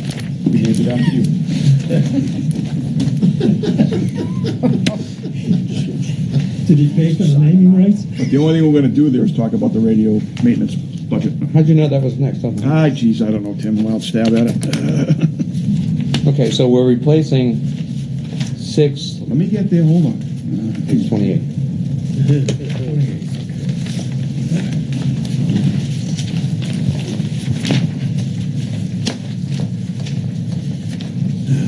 Somewhere in your numerous subline items, you have thing- something called new equipment, you know? And, uh, yeah, there it is. And- And there's nothing under new equipment. Yet, under radio maintenance, you've got eighteen thousand dollars to buy six new portable radios. Now, it seems to me buying six new portable radios constitutes new equipment. And it should be under new equipment, not under radio maintenance, Okay, right? again, So that's not a question, it's a statement. Okay? Uh, and I'm gonna respond to your statement if that's okay with you. Well, no, because I just, we went through this last year, and I don't want to go through it again. I thought we got to confer. Long- I We're, we're when trying to be made a statement, I made a expeditious this year. Trying to be expeditious. All right, go. General maintenance for twelve thousand dollars, if you're buying these new radios, shouldn't the general maintenance be going down rather than be being maintained? You got general maintenance under radio maintenance, twelve thousand dollars. I think you're confusing the portable radios with the radios we have in the building, the main part of the uh, infrastructure of the radio system that has, what we have, four voter towers? I think it's four voter towers we have in the town or just outside of the town pointed back in. That's more a reflection of that, not the portable radios. What kind of maintenance is required there? Well, we had an issue where recently the water company was painting one of the water towers where we have some of our equipment. Mm-hmm. So in order for them to accomplish that, we had to go in and move our equipment, so we had to pay somebody to do that. Okay, so stuff like that. Or if So something the water, the, the Aquarion needed to, to paint their water towers, it was? There was something they were doing on the water tower that required us to move where our antenna and our apparatus was to support Did it. you charge them for it? No, Tim, I did not. I don't, I don't have the ability to charge the Aquarion. That's not under my authority. Oh, so it was a detail. Did you float it up to the authority that could charge them? No, I didn't. Okay, thank you. moving right along. I note that you've got uh, new police cars of three, 28,000 apiece, which includes computers, right? How much did you say? Twenty? What page you on, Tim? 26. Twenty-six. Thank you. Hmm. And the vehicle replacements, Okay, which seems accurately named, by the way. thank you. So what is your question? I'm just confirming that you're buying three marked police cars, cruisers, Yes, for twenty-eight thousand dollars. And as you said earlier, when you buy a cruiser, you get a computer with it, right? yes. So that twenty-eight thousand per, per cruiser includes a computer, correct? I think if you look up a little bit, that'll answer your question. The next, just right up, Tim, the next. Replacement equipment, The next line up. Cruiser setup installation. Oh, so it does not, twenty-eight thousand does not include. No, that's about, that was last year's state bid price, Uh-huh. which we believe, every indication is the state bid price is gonna remain that, or just a little bit more. So the twenty-eight thousand does not reflect the computer? No. Okay. So if you throw in the computer and blah, blah, you've got basically, uh, installation of emergency equipment is three thousand. That's, uh, one thousand per cruiser, right? No. Okay. It says three at three thousand. Okay. So that means- so it's And if you look 3,000. over to the right, Okay, yeah, it says three nine thousand, thousand. yeah. And laptop, you got three thousand for, you know, uh, for that, so Mhm. that's six. Then you got a cruiser radio, which is another three thousand dollars, which is, makes a total of nine for a cruiser. Mm-hmm. So your per cruiser cost is coming in at, uh, Thirty-seven. thank you, for- uh, You're welcome. That's why you're on the school board. Absolutely. So you, your actual cost is, your actual cost is basically thirty-seven thousand dollars Yeah. per cruiser. In that Just wanted to- ballpark, yeah. Just want to highlight that. And somehow, uh, well, I don't, I don't know, I shouldn't say somehow, because I know exactly how it's happening. You're getting uh, thirty thousand dollars taken out of the fire and police detailed fund, the famous Fund twenty-six. Fund twenty-six. Um, okay. Now, we spoke briefly earlier, and I just want to drill down a little bit here. You've got uh, a line item for consultants here, which was, uh, Which line are you addressing? same page 26, the consultants. Uh, you had 33 and a half thousand for that. It was cut out by 30,000 by somebody. I assume Board of Selectmen could have been town manager. I don't know. Um, it says manage, administration, so I guess it was town manager. Mm-hmm. Is that right? Did the thirty thousand? So you asked for thirty-three and a half thousand dollars for consultants. That was your. For that one, yeah. Yeah. Thirty thousand for the, for the, uh, the policy review and update. Right, and town manager it's thirty thousand too much, basically. Essentially. Yeah. Mm-hmm. So what are we gonna do with thirty-five hundred? I mean, is thirty-five thousand useful to you in any way? That's the remaining amount, thirty-five hundred. Well, it, it will be useful in the area of some of the other items that you see listed there. Um, seminars, consultant costs to provide training seminars. Now, that line item could be far higher. But one thing saves us from that is that we host a lot of the regional training here in Hampton Yeah, of the, the nice building. So when we get those, what that saves me is. Cuts down on costs of travel and all that good stuff, yeah. Tuition, travel, lodging, and food. So what are we, by pulling thirty thousand out of here, what are we not funding? What we're not funding is, my hope had been to get a, uh, an outside entity to come in and take our policies, and that's what they do, they look at policies and they look at state law and federal law, state case law, federal case law, and develop model policies. Our policies are good, but it's a constant change based on the changes in law and case law. And what we would have the opportunity to do by having an, an outside person come in and look is to validate what we have, mm-hmm. add what we need, and also give us a, a way to verify the training level that our officers receive, because a policy is only as good as the person that knows the policy. I can have all the policies I want, but if you don't get the proper instruction and a, a validation of that instruction, when it comes time to go into a lawsuit, that, those are the first things they expose on you. So we want to get Basically, an attempt to, um, do a policy level, or rather, um, an audit on your policy operational level with regard to laws, particularly as they've changed since the last time it was done. Is that- Everything. Everything from use of force to internal affairs to how to wear a uniform. There, there are model policies out there, and the companies we look at, they specialize in that, and they also give you that verification electronically, so an officer can come in off the road, mm-hmm. and we can say, this week's module is gonna be this policy. You're required to sign in, and we can see that you signed in. Most of these companies have a small, you know, an easy quiz or test on the policy that we can see that they did and verify that and update easily as changes come. As opposed to having, say, every five, four to five years, having to do a, a, a review and, and a renewal of our policies, which is very time much more time changes frankly, I gotta be honest, much more I'd spend more money in staff time doing it than I would thirty thousand by an outside company doing it. Uh-huh. In my opinion, I think we'd spend more time in staff doing it on our own. that last statement suggested you're saying it's more uh, financially efficient to actually spend I think it's more $30,000. cost effective, yes.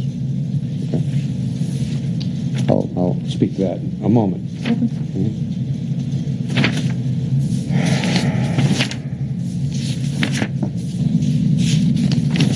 I Made several notations because you know how I love your department. You fan.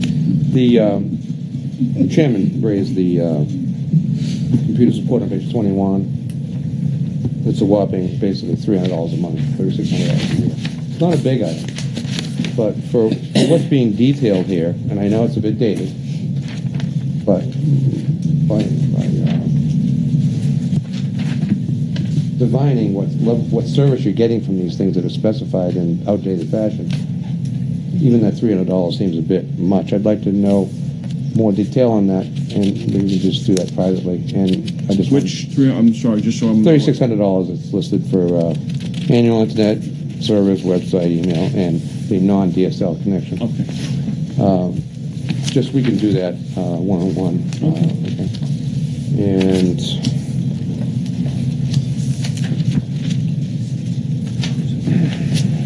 May have an answer if you want to hear it now, or you want to wait. Yeah, we'll do it offline. Okay. Too small of a line item to take up the committee's time, in my opinion. Actually, actually, Chief, since you asked the question, Chief, could you answer it? I'm gonna have the deputy answer that, he's a little bit more proficient in the technology, so. Please, please, so everybody knows. We upgraded how our computers talk to the station so that officers in the cruiser can run uh, queries, license checks, record checks, whatnot. And it's how the, it's it's basically a uh, like a mobile Wi-Fi or a MiFi you call them, and it talks to the station so that it's the connection point from the car to the station. Each car has a, uh, a mobile device that gets wired in and connected, um, and it just allows the computer to talk to base. Wow, that's a totally a different mod- level of service than what's delineated here in the It was the computer in the car talking to the Yeah, I understand. Yeah. I mean, I can do that with my own car with a phone support. company, for example. I'd get the same kind of uh, uh, connection with the internet, for, for example. Right? Same technology for communication is what I mean. You get a little portable device you can carry around. I, I, if you could, again, if you could update that line item so it's more descriptive. Sure. Uh, appreciate that. Um, Chief, you got a raise this year, did you not? This year? That's to be 2017? 2017, Um, one point something, I believe, or two point something. One point six five. yeah. 1.25, thank you. One point six five. 1.65. One point six five. Thank you.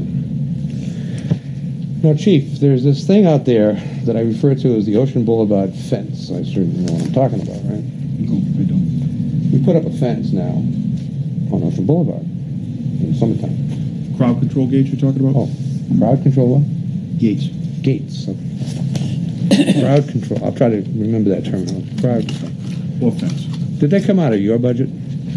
Um, yes. And how much was that? Roughly just under fifteen thousand dollars. And that was for the purchase, right? Yes.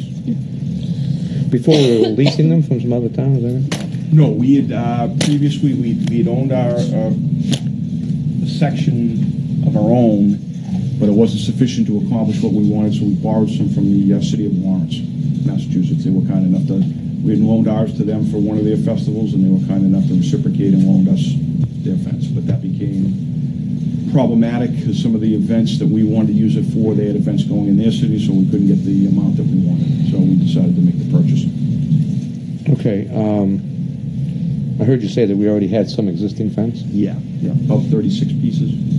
versus what, what did we buy for fifteen Uh, thousand? we bought it, I- I'm sorry, I don't know the number off the top of my head, but we bought enough on top of the fence we had, and I'm sorry I don't have the measurements, and I wish we had known I was gonna talk about this, because I had it detailed, but basically, we bought enough fence on top of what we had to go from G Street all the way to Mrs. Mitchell's on the west side of Ocean Boulevard, and then on the east side, the entire front of the, the, uh, State Seashell Complex, so, uh, F Street to D Street. Enough to cover that area. Uh, sorry, I don't have the numbers for you, Tim. If I know we were gonna talk about it, I would have we, had it we had previously owned some of that fence. About thirty-six pieces of eight-foot fence. But we didn't deploy those at the beach, did we? Yes, we did. We did? Okay. What we did, what, historically, what we had been doing, we started doing that, uh, back when I was deputy chief. And when we started really seeing the decrease in the number of officers that we could get to work, uh, as a whole, and then Fourth of July in particular, I had traveled around and seen this fence used in other places to help keep crowds out of the road. So the section from D Street to C Street, which on the Fourth of July causes probably the biggest traffic nightmare we have. Pedestrian wise, right? Yeah, it does. And by the time we get the road cleared, and then to keep the crowd out of the road so we can get the traffic flowing, in that one block area would take anywhere from eight to ten officers. That I no longer had just simply because between us and the state police, we didn't have the numbers to do it. How long do we own that, that, that fence? Which, uh, Those- the, fence that we the first fence, Apparently many years. two thou- so I took over in two thousand fourteen. I want to say somewhere around 2011, 12, we bought the first fence, somewhere in there. And, and, uh, every year we, we put it up once and take it down once, is that right? We used it for other events, but primarily it was bought to use for the Fourth of July. No, I mean, presently, I mean, based on this year. This year, we did that, after I made. We're putting it up once and then taking it down once, right? That's what we did this year, we put it up just on before doing the that Fourth. subsequent years, is that Huh? Planning on doing that subsequent years as well? right? Yes, that is my game plan. Okay, and who's installing and uninstalling these fences? Is it you or DPW? Uh, combination, uh, whoever we can get to help. Public Works is a great asset, but sometimes we have to go back and redo it, or if they're not available, we'll put out portions of it. Sometimes it takes more than one time at it, we'll do one side or a section and then come back and do the other section later. Well, I'm chasing, I'm, I'm on a chase down cost on that because, uh, from what I see, uh, this is a necessary thing to do public safety. I agree. And, um, They worked fantastic this year. well, uh, they are, they're very functional in terms of their intent, absolutely. I mean, anyone can, can see that. But they are for public safety on state property. Yes. Which is, in fact, part of the property that was not transferred in 1933, not subject to the 1933 agreement, but yet we are subsidizing the state with this exercise because we must provide public safety, period. Whether it's in a contract from the sale of the beach or not. But that doesn't apply here, because we're talking about the state highway, different piece of land, right? So I'm trying to nail down the actual cost that we're, we're bearing here relative to subsidizing the state. So I just wanted you to know why I was asking those questions. I do think Well, the the, fences, the only thing I would offer on this, Tim, is if you- if you're gonna ask this question, are you then in turn gonna request data on how many stops we've made on Ocean Boulevard, because that's a state road, are we gonna try to build? I a state believe for uh, selectmen have been already pursuing that information with you, particularly Bean, is he not? I supply them with data on um, activity on state properties, not state roads. State roads, we are obligated as a police department to enforce the laws on any roads in the town of Hampton. The only roads that we don't have primary jurisdiction on Route 95, and under the recent change, uh, state police can uh, come in on 101 also and do those things. But these fences, as I understand it, its primary purpose is to control pedestrian traffic. Yes. Right. absolutely. Yeah, which is distinctly different than speeding tickets. Yes. So, I mean, that's, that's where kind of like I'm seeing the difference here. Basically, it's kind of sidewalk maintenance in some respect. You- You're like enforcing that people use the sidewalk. I'm going to have More or to less. disagree with you on that analogy. It's fine. Wasn't a question, it was a statement. So was mine. Uh, I think that your your thirty thousand dollar back to your thirty thousand dollar consultant, Mr. Chairman. Um, I, I would like to uh, take the vote on the, the motion that's in place, but I'd like an opportunity to make a motion to uh, add thirty thousand dollars subsequent to that vote. Yeah, I was just going to ask why you're suggesting it's going to save money in the long run I, yes, I am. to spend that thirty thousand dollars, and it seems to make sense to me. Why would we? Why would we take that out? That's okay. T- uh, Timmy, you done? Yeah, I was just saying that, you know, I- I'd like to proceed with the motion on the table and then make another motion where we can discuss that. That's of course, that's what just we'll do. Anybody else have any questions? Uh, Steve? Chief, what are some of the departments across the state that are using that policy? I know like some of them, like Nashua's accredited, certain departments have gone through the accreditation process. What are they, do they use a process like this, or what other department uses a- this type of a policy and rule procedure? With CALEA, you develop a policy and procedures and everything from how you operate your building to the arrest facilities, policies on how you arrest, handcuff. They have model policies on all of that. Now, usually when you're going for a career accreditation, you appoint a accreditation manager, okay? And for about a two-year period, that becomes their primary task. If you- If you're an agency that's never been accredited before, and you're going for that original accreditation, it is a daunting task. If we were to try to pursue that, that would pretty much be Deputy Chief Hobbs' ninety percent of what he would be doing for the next two years, would be developing those policies between implementation, meeting with the accreditation team from CALEA coming down, and then ultimately at the end, they come in and do a final review, which is about a, a week and a half to ten day odyssey, where they come in and they go through everything and test you on it and make sure our officers, right down to the custodian, know how you operate your police department. Very expensive, prestigious to, to, to get that. What we're talking about is coming, is not CALEA.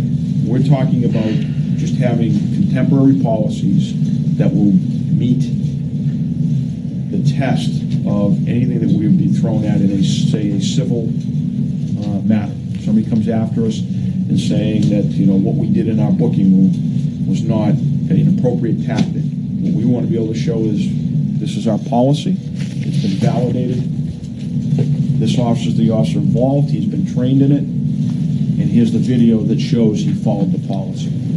That's our best defense, having updated policies that protect the town and protect the liability of, of our risk management board. But What I'm really wondering is, who actually is using this program now? I mean, who- what departments around the state of New Hampshire? Do we have some departments that currently use it? There's uh, there's there's three companies outside of Clear that that do this type of thing across the country. One doesn't work in New Hampshire because they they don't have the legal expertise. Their attorneys haven't practiced in New Hampshire yet. So it gets you down to two. The the one that we're looking at. Um, He's based out of Connecticut. He's all over the country. He is not in New Hampshire. Um, he's in everywhere else across the, the country, but uh, there are no um, agencies in the state that have used it. I've talked to some down in Connecticut that have used it, that speak very highly of them. Um, our agency over the last several years has started sending people to um, uh, summits that he puts on, uh, tr- like two, three day training sessions, and we're kind of adopting a lot of his use of force stuff. Um,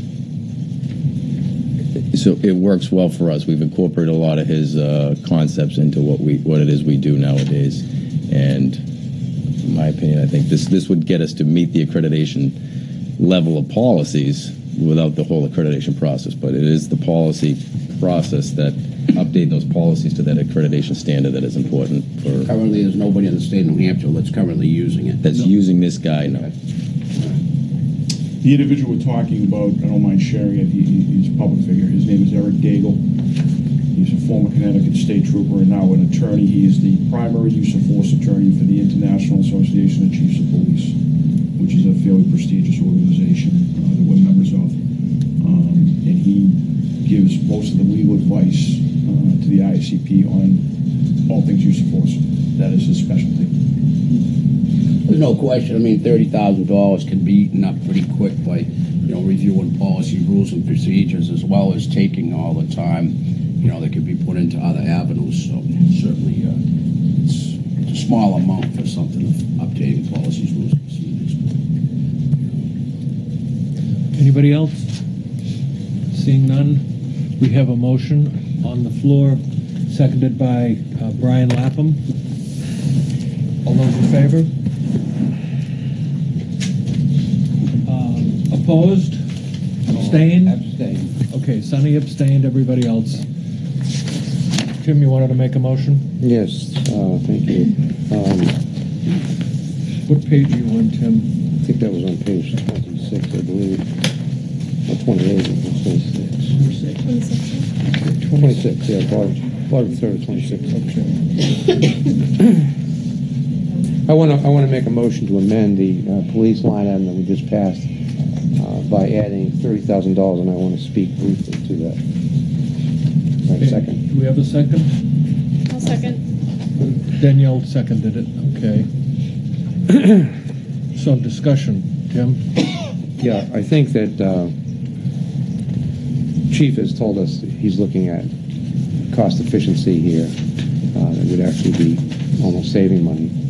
That's mine. If I don't, I, I wish I could tell you, show you that on paper, but knowing what the person in charge would be Dave, and I just think it would be more cost efficient.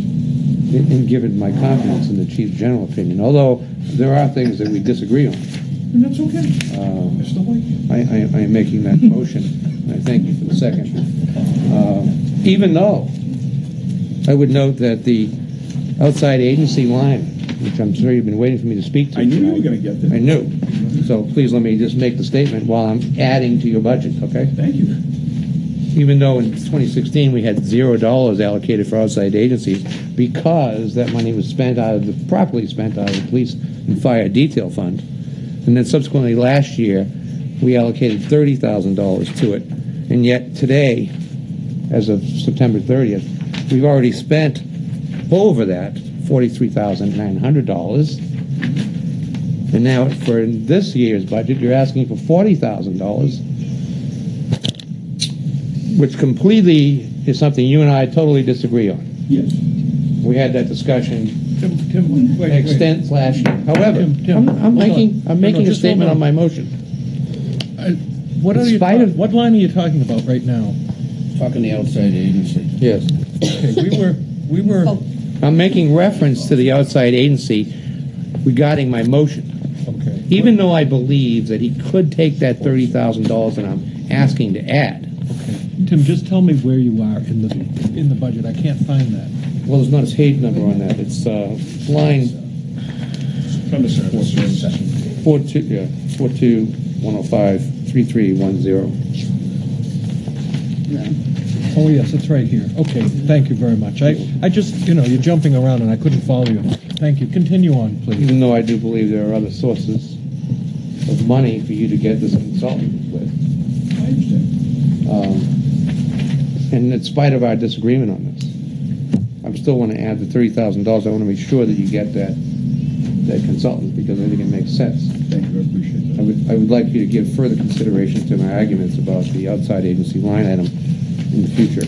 And I'll just leave it at that, so we don't have to have a big discussion about that, okay? You can have Anybody offline else? At some point if you Yeah, want. we can enjoy it offline as we have some There we time, go. sure. Anybody else like to speak on this particular motion? Steve? Well, just the outside agencies, that's bringing in the outside officers for the summer, you know, when they need them. I guess my only thing is, is, you know, I guess, how do we make out the summer as far as bringing state police in? Because, you know, my feelings that they, uh, Yeah, and- should be assisting and helping us down I here. couldn't agree with you more, They always Steve. had a budget that didn't come out of the uh, taxpayers of Hampton, it came out of their budget, so it was great for years, but Yeah. as budgets um, get tightened, they've pulled away, but how did that work out?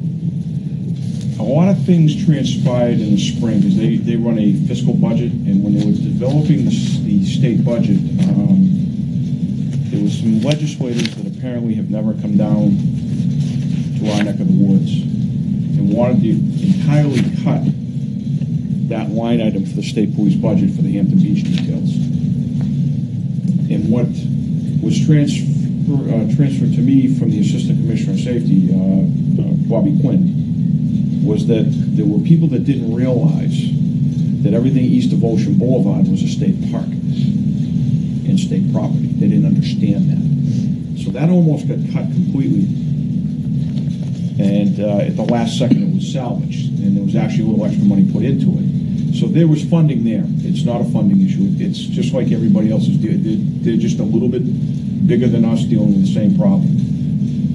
They're shorthanded. And the folks that are coming into the workforce today, they just, and again, this is not a good or bad assessment. This is not a judgment of the workforce coming in today. It's, they have a different mindset. Back in the day, this gentleman here, me, guys, we worked, we worked 50, 60 hours a week, week after week after week after week. Because when there was work, you went to work, the extra. Today, they don't, they don't look at it that way. They value their off time, their social time, better than, more than we did. We host uh, classes at the, at the police department under the FBI leadership group, and they talk extensively about dealing with the modern workforce.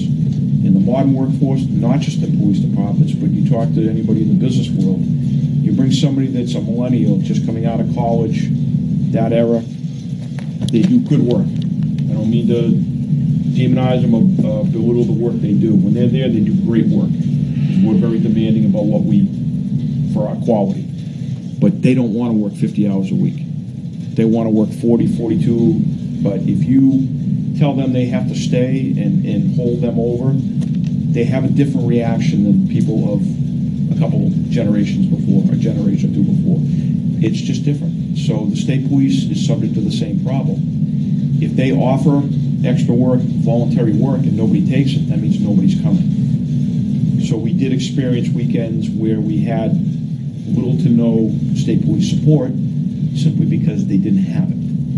It's not a, an issue of the state police not being sympathetic or supportive to the Hampton Police Department. I've never seen a relationship better between us and the state police, quite frankly, because of what we're all experiencing. It's cost us all to work better together. That's why when we went to the program of bringing in officers from other towns, I know in the past there was people that questioned the wisdom of that or, or the safety of that. We work so much with our neighbors now that we all know each other pretty, well. We do common training. We host uh, crowd control training down at Hampton PD that we want those PDs to come to before they come to work down there with us. It's just one of those things. We're all working with less, so we have to consolidate our assets when we have those peak periods. So it's not unusual to see officers from Hampton working at events in other towns up in Epping at the Speedway, or when they have a big event, we go up and work that. UNH, we go up and work UNH issues. They come here and work for us. Um, it's just the way of the world today. If we could use state troopers that weren't costing us money out of the taxpayers, I would. It's just not available. What's the average, say, uh, the low end and the high end of what we're paying from the outside, you know, coming in? I'd have to It's re- detail rate probably, correct? I'd have to research that for you. Um, the primary town agency we or UNH, Epping, Exeter, Greenland, Seabrook occasionally, but Seabrook's got the same problem. They have so much work over there, they can't fill it. It's hard for them to justify coming over the bridge to work with us. So I could try to find that for you. That'd be great for the next one. The other thing, I guess, uh, just to throw out what's going on around the country here, I know, uh, I was in Portland, Maine yesterday for an event, uh, for the little boy there that's dying of cancer, and I know talking to the, uh, one of the deputies up there was telling me they're offering a ten thousand bonus just to get police officers to come up and work. Uh, Westbrook, Maine, down in Texas, I saw something today, twenty-five thousand dollar bonus if you want to laterally transfer in. So across the country, it's universal right now as far as trying to get police officers on, you know, to work and to get, you know, the employment out there. So it's tight, not just in Hampton, it's, it's a universal, it's across the country right now. I think that, um, I think that it's interesting, living at the beach, and in the last, I think, two years, you've been bringing in, um, details from other towns, and they, they wear their uniform, they bring their own vehicle with them. And, uh, I think, I think it's great. Personally, um, I think in the past, I might be wrong, um, you, you used to try to hire, um, people just for the summer and, or end up training them, and then they go to another department somewhere else. Mr. Chairman, only before you part- get back to the motion, please. Anybody else have anything to say about this motion specifically, about the motion of adding thirty thousand dollars? Seeing none, those in favor, uh, Barbara, you have a question? I just uh, was going to ask the chief for the exact uh, line. Uh, uh, Tim's just adding thirty thousand. I'm adding thirty thousand dollars To to the the bottom police line. budget. Okay, Period. Okay, that's the motion. Okay, all those in favor? Uh, Opposed? Sonny, opposed, everybody else is in favor. Mr. Chairman. Yes, sir. Um, like to make a motion to move, uh, emergency management. I think it's a thousand dollars again this year, right, Chief? It is. Just as it has been for the last, uh. As long as I've been with the Hundred thousand MPD, years, right. Thank you. Uh, Regina seconded. Okay, emergency management. Basically, management. it's flat every year. It's a no-brainer. You don't spend it all, right? Uh, we do occasionally spend it, but what happens with a lot of it is, is reimbursed money from, like, when we do the drills, we get money back. Yeah. You know, it offsets anything that's in there. Basically, a no-brainer. Let's go. All those in favor? Opposed? Abstain? Sonny abstained, everybody else? The reason I'm abstaining is. Boy, you don't need to tell me. That's okay. You abstain, that's, that's, you- that's your business. Um, Chairman, you've got animal control listed here on the agenda. Yes. I don't see that as a separate line item unless I'm missing something. Yeah. Yeah. Yes, it that's is. what have. It's on a It brown. have its own tab, but it's not a line item in the budget. It's its own Health budget. and Human Health and Human Services? Services. Health and Human Services? Yes. That's the official budget. Pest control, forty-four fourteen? No, it's page fifty-four, Tim. No, I know it's that. It's forty-four. Fourteen. Yes. Right, that's called pest control. No, it's not. No, excuse me. No, it's not. It's under. In the annual report, Well, that's because you're. which we send this to the State Tim. Department of Revenue Administration. Is that last year's That's vote? the That's DRA correct. That's the DRA. Right, and so that's the How they- legal, that's the legal name of it. Forty-four fourteen pest control, right? That's the legal name of it, according to DRA, Department According of to the Revenue. DRA, that is where Right, it falls. And we're trying to go by line items, correct, Mr. Chairman? Yes. And that's what the line item is called, pest control, forty-four fourteen, although we also know it as animal control locally, right? Mm-hmm. Thank you. Okay. Did you make a motion, Tim? No, I was trying to find it, because Oh, I okay. couldn't because of the naming difference, and I, now I found it. All right, would you like to make a motion? Yeah, as soon as I find it in our I would budget like to book. make the motion to move a hundred, a hundred and fifty-eight thousand, a hundred and eighty-nine dollars for animal control. I think you're in the wrong page. Animal control is one fifty. No, no, no, no, no, no, no. Forty-four, nine thirty-nine. It's, it's fifty-four, nine thirty-nine, Ginny. You're page fifty-four. I will move fifty-four thousand nine hundred and Oh, thirty-nine okay, at dollars total. Okay. under account forty-four fourteen, known as pest control by the DRA, known locally as animal control. Would you like to second that, Ginny? No. Do I have a second? Do I have a second? Do I have a second on that, please? Regina seconded it? Okay. Any, any, um, any discussion on, on animal control officer? Uh, first of all, perhaps you could explain Yep. animal control. Sure. Um, Animal control officer for many years uh, was Pete McKinnon, who uh, retired recently. Uh, His primary role is to enforce uh, town ordinance and state laws in regards to dogs and licensing. It encompasses so much more than that over the years. For, for 30 years, Peter just did an incredible job helping everybody with things that quite frankly, probably weren't our province. They were more animal control, but because of the uh, uh, fish and game. Uh, but because of his expertise, uh, it just became part of what we do. Um, Pete was this, you call when you got a raccoon getting into your trash. Not really the animal control officer when you look at it, but we took care of it. Pete had the, we had the, bought the Havahart traps. Uh, you got the rabies shots and the things that you need to have to do that type of work and we just got it done for people. Uh, it's just one of those things. It's primarily the, the, the dogs and the licensing, but it just comes into any problem with, with animals, be it domestic or, or otherwise. We do make a legitimate attempt to try to help out people with those problems before they have to call, you know, a, a private entity and pay out of pocket big money to get a bat out of your house. Those type of things, Pete kind of fills the gap in on. And with his retirement, we now have a new animal control officer that's filling the same. We've explained to him that we want to continue Pete's legacy of service. So that's what we continue to do. Wages are down because he's, he doesn't get paid. Pete was at a senior step under the CBA. The new ACO is at the first step. Um, okay, any questions? Yes. Any, any, yeah, comments, questions? It's nice that the total line item is down five percent. Yep. Five point eight, four eight percent. Yep. But your, um, overtime wages are up fifty-seven percent. Can you speak to that, please? Yes. Thank you. Pete McKinnon had 30 years on the job. UACO has a couple of months. We anticipate training and seminars to be current with things to get to that level where he should maintain. Thank you. And you've got, um, supplies and expenses up forty, almost forty-three percent. Can you speak to that?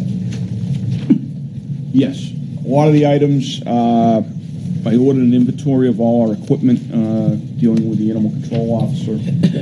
Um, Be it firearms that we have to use, sometimes unfortunately we have to dispatch an animal. And some of the the traps, stuff is getting old. Uh, It just wasn't really what I felt was safe or up to standard. So that uh, accounts for some expenses we anticipate spending on items of that nature. So, um, And uniforms. No, pardon me, uniforms are another line. yeah, the, so, uh, some of this is really equipment, it's gonna last multiple years, right, so. Yeah, most of the Havahart traps, the problem with those is, is they're made out of like, most of them are made out of like a, almost a wire mesh. Oh. Um, and you get down to some of the areas we are in the, next to marshes and so on, they might, they corrode pretty quickly. Hmm. So it won't necessarily be at this level every year, I guess is my question. I wouldn't think so. No, we, we- Okay. we have some initial things we want to get done. Thank you. And then we can probably back off on that line a little bit over the years. I'm ready to vote favorably on this. Anybody else have a comment first? Seeing none, those in favor? Unanimous. Thank you, think we- chief. I think we're done. Thank you. So, Hope you enjoyed yourself this year. It was quick. It was thank you, thank you very much, chief, thank you, If you want to deputy. talk about those other items, let me know. Absolutely. And I'll get back to you, Steve, with those numbers. Oh, you know, while we uh, have a moment here, uh, just want to, you know, throw a plug out. Peter McKinnon was amazing, man. You know, that He guy, was, yeah. that guy would come out 24/7 when you need him. He did work that uh, just far above and beyond. Big loss for this town, big shoes to fill. Awesome employee. And besides that, we lost someone with probably one of the another person Marcia has, uh, you know, recently. And I'll tell you, there's never uh, never seen anybody in this town that worked as hard or as dedicated she was. She never missed a day of work take about five people to fill her shoes. The Woman handled everything to do with prosecution. I'm talking if we make three thousand arrests and motor vehicle stops, everything else, she took care of putting that in the computer, paperwork, subpoenas, talking to lawyers. I mean, the lady did everything. And uh, Marcia will be dearly missed in this town and uh, just an amazing employee. And I know a lot of people uh, miss her. I know I do, and uh, everybody else. So I just want to throw something out there for Marcia and Pete, just great employees in this town. Thank you. Okay, thank you very much. Thank you, chief. Okay, good night. Mr. Chairman, if I may have a moment. Yes, sir. The chairman, the chairman made a decision about procedures, that we would vote only on legal line items. So I'm looking at legal line items and their definition. When the And I'm sorry if, if it ruffles the feathers of those who are used to doing it some other way. But this is the new way that the new chairman wants to do it, and I'm trying to conform to his uh, procedures. Thank you. Thank you, Tim. Does anybody have a problem with that? No. Okay, good. We're all set. All right, moving right along on our agenda. We, I do not have at this time any uh, non-petition warrant articles, so item six, we're done with that. Um, We can go on to item seven, which is approve the minutes. Mr. Chairman, I'd like to move, Wait, wait, just one minute. Uh, Fred and Christie, thank you very much for coming in tonight. Thanks, Barry. All right, have a good evening. Okay, good, Come continue. back when you have some more free time. I'd like to move the October minutes first, because if that is approved, then I can accept the September minutes. Okay, so, uh, Tim made, Tim is making a motion to approve the October 17th minutes. Um, do I have a second? Second. Brian seconded, okay. Any comments or changes about these minutes? Anybody? Seeing none? Those in favor? Unanimous? Thank you very much. Did I abstain? I was Yeah, you abstaining weren't, from you that. weren't here, but you can still vote if you want. No, no, no, I don't want to September, we have not done yet, right? That was No, October. That was October, Yeah, yeah. no, I should Okay. abstain from that, probably. That was Regina abstained. because she wasn't at the meeting. Okay. Were you here? I think that's the one that I missed, so I'm gonna be abstaining on that one. It says that you're here. Was I here on that? Yeah, one? you were here for that one. Then I'm voting. Okay, so everybody, a September everybody one that voted I yes, except for Gina. All right, so, next, Excuse me. yes. On the seventeenth, I think you were here last meeting? Yes, we just The established last that. meting, yes, the one. Yeah, he prior to just that. confirmed The that his confusion was The one confusion. before you was not. Yeah. Okay. Everybody, everybody voted yes, except for Gina. Abstained. Okay, all right. Do I have a motion on the September minutes? Yeah, Danielle voted in All right, Danielle moved it. Yes. And anybody second it? I'll second it. Okay, Regina seconded.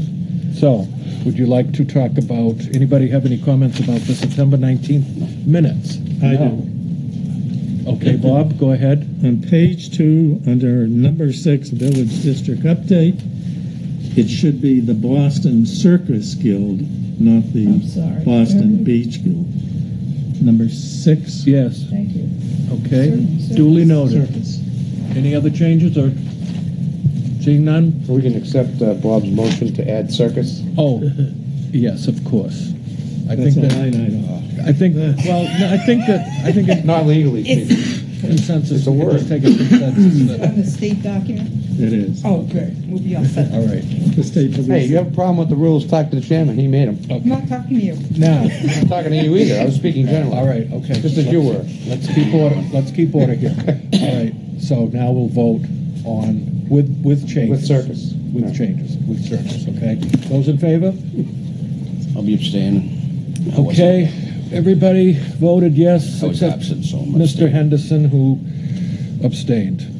All right, so that takes care of our minutes, correct? We're up to date with the minutes. All right, um, Selectmen's update report, please. Okay, so yes, there is no warrant articles because the selectmen have decided to postpone their review of the warrant articles because next week we're gonna be having a presentation from Wright Pierce about the wastewater treatment plant. And we're deciding maybe we should hear all of that and figure out, you know, what the best way about going, I mean, I don't wanna see a lot of warrant articles, I don't wanna see a lot of money warrant articles. You know, I have people telling me, oh, you know, forty-one million dollars on the warrant, well, I don't believe there's gonna be a forty-one million dollar warrant on the article, but what we need to know is we need to listen to these people, listen to the presentation, and then maybe have one warrant article that will sort of start the whole process of having the engineering work done, things like that. So that's why we didn't wanna do, we didn't, you know, we weren't really gonna vote on any of the major bond ones anyway, so we figured we'll wait for the presentation to be over with, and then we'll have a better idea of where we stand. Okay. Anybody have any questions for Regina? Seeing none. Um, let's do the village district report, please. Bob?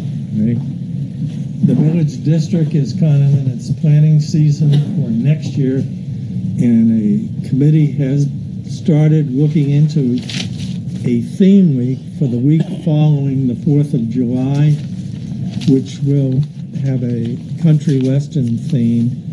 It's still in the embryonic stage, and I'm not sure whether we'll hatch it or not, but it's being explored. Okay, any questions for Bob? Not seeing none. Ginny, would you like to give the uh, school report, please? We just started our budget deliberations at the beginning, and the budget is up twelve point nine percent, ten percent, and that is because of the building, the building pro, uh, at Hampton Academy. Um, so we're reviewing the budget, and we will have it, we'll have your budget books the Monday before Thanksgiving. Yes. Okay, thank you very much. And you are to pick them up at the SAU office Right, on Scott on Scott Road. Road. Right. Thank you very much. Yes, Okay. I understand, you just said it's going, it's up 12, twelve percent so far. We just started doing our deliberations. twelve percent exclusively because of the rebuil- rebuilding? Ten percent is because of the building. Two percent is because It's got to of, do with shifting people around, is that the cost of doing that, shifting people around, is that what that is? that's the, bi- it, no, it's the cost of the building project. Well, I thought that was funded separately from, from the bond. That would still add to your bottom line of your budget, Tim. Right. Oh, you're talking, all right, so it's up because of the bond payment? Right. Okay, got it, thank you, thank you. Yes. Thank you for that Yes. Bob, clarification. did you have a question? No. So now we're going to move on to other business. Yes, I have other business. Okay, and first, I want to answer um, Sonny's question from our last meeting. Uh, You wanted to know who was going to pay for the water connection on Liberty Lane. Liberty Lane Associates. Yeah. The customer. Okay. uh, Tim, you had asked a question, something I was supposed to look into, and I, I forgot it. It's in the minutes. You can remember that way. No, you, you mentioned it before this meeting started. Yeah, it's in the minutes. I confirmed it's in there. Yeah, that was, uh, you know, uh, asking uh, if uh, the, uh, Oh, yes, yes, about the lawyer. yeah. Yeah. Did you want to ask Regina? Well, I didn't want to get into it. I- We spoke to it off camera, but the basic question was, we know that there's a lot of, you know, there's a lot of increased expense in the legal department. And we also have some sense that there's a lot of um, activity going on that's driving that expense. But we, we don't have a, a- a- you know, a clear view of what that, that is. And we also understand there's some sensitivity about that. And so we talked about uh, maybe having a non-public so that we could have an understanding, so that we can then advise the voters that, you know, we, we have an understanding and there's, and there's re- reality behind these, these, these increases. And so that's why we were looking for a, a, a sense of whether or not he'd entertain a non-public. At, I think he's scheduled for our December meeting. Yeah, I have that here somewhere, Tim. So for Mark to come here and have a non-public? Yeah, he's going to come here anyway. but Well, he'll be you know, coming the here. schedule is a non, part of it is a non-public, and then we'll do our normal public thing, which is going to be more. Uh, And, and so Normal. basically what, what you're asking is that, that you mention this to Mark, okay? That, um, if there's something that Mark wishes, now, again, this is totally up to the lawyer. This is up to Mark. Yeah, we're just, we're just asking Just whether he'd asking a entertain a, a non-public, uh, uh, uh, forum so that we can get more clarity than we might get in a public forum with regard to his, uh, significant increases in expenses. And it may not be necessary. He may be able to explain it all, okay? Tim is just asking. I will, I will have the conversation with Mark, but a lot of the increase in expenses has to do with certain cases that Can't be discussed. town discussed. council is Confidential, working right. on right now that we can't bring up open into the public quite yet. Like the whole thing, you know, when we were able to do it with San Souci as far as the whole power plant, Right. you know, we did, we presented that, I think either represent, uh, Selectman Bean or, I don't remember whether it was him or the town council that had read a letter that sort of was a summary. And that, but there's just, we're still at the point with a lot of things going on that those certain cases can't be made public yet, but I will definitely. have a That's exactly what we yeah. want to avoid, is making that stuff public by having a non-public. About three years ago, we went through the same thing, and he was more than um, helpful in coming in and brought us some things that are confidential, and so he has done it in the past. Okay, okay, so that's good. All right, um, anything else? Yes, I have other businesses. Go ahead, please. Actually, it's old business, but they're classified as other business. Just so- other business, right? Uh, Old, new. I've had difficulty with uh, this, this budget book because, you know, I'm now used to analyzing the budget with the spreadsheet, which we didn't get. What is the status on us getting Oh, the you had spreadsheet? asked, you would I asked will- Christie to give, give us the Excel spreadsheet. She simply forgot it. The Excel file. She's been, you know, pretty busy getting this thing together. Well, there's a problem with the communication, is I can't talk directly to her, I have to go through this, this ritual, you Would you ask her, please? Yeah, she was just here a few I- minutes ago, but I yes, know, I but- will ask her. But I had to wait for the other business to I know, no, that's okay, that's all right. Trying to conform. No, I will, actually, once, I'm gonna try to run out there real quick before. Go ahead, go ahead. Are you sure? Because I just, I don't have a key to here, so I just wanna Yeah, grab go, my. go uh, ahead, go ahead, please. All right, and I'll ask her. And then She just come- yeah, emailed then it you'll to us come as an back. attachment, as she did pre- previous years. Yeah, okay, yeah, I'm that'd be sure fine. she just forgot. If you have to go, she's go Great. ahead, go ahead. All right, anybody? uh, Yes. Go ahead. Additional. There is uh, some things coming up uh, relative to uh, funds. You know, we didn't have any meetings this spring, they were canceled for whatever reason, and so we didn't have a chance to get into it. But there are a couple of funds that uh, need to have a little bit of um, discussion on. One of which is Fund 26, which I didn't want to get into tonight because we're trying to be expeditious. I think when we move the final budget review from December to January, we open some time in that December meeting maybe we could go over some discussion on, on funds that I, that I have in mind. Right now, I'm getting noise on the cable TV fund, uh, and there's also the Fund 26, and there may be other funds that come up. Uh, but those are two that I'm aware of that, that we may want to have further questions with. And we'd have to have Christie here for that, because it's really transactional based. Um, Tim, I have to think that, um, that we would have to.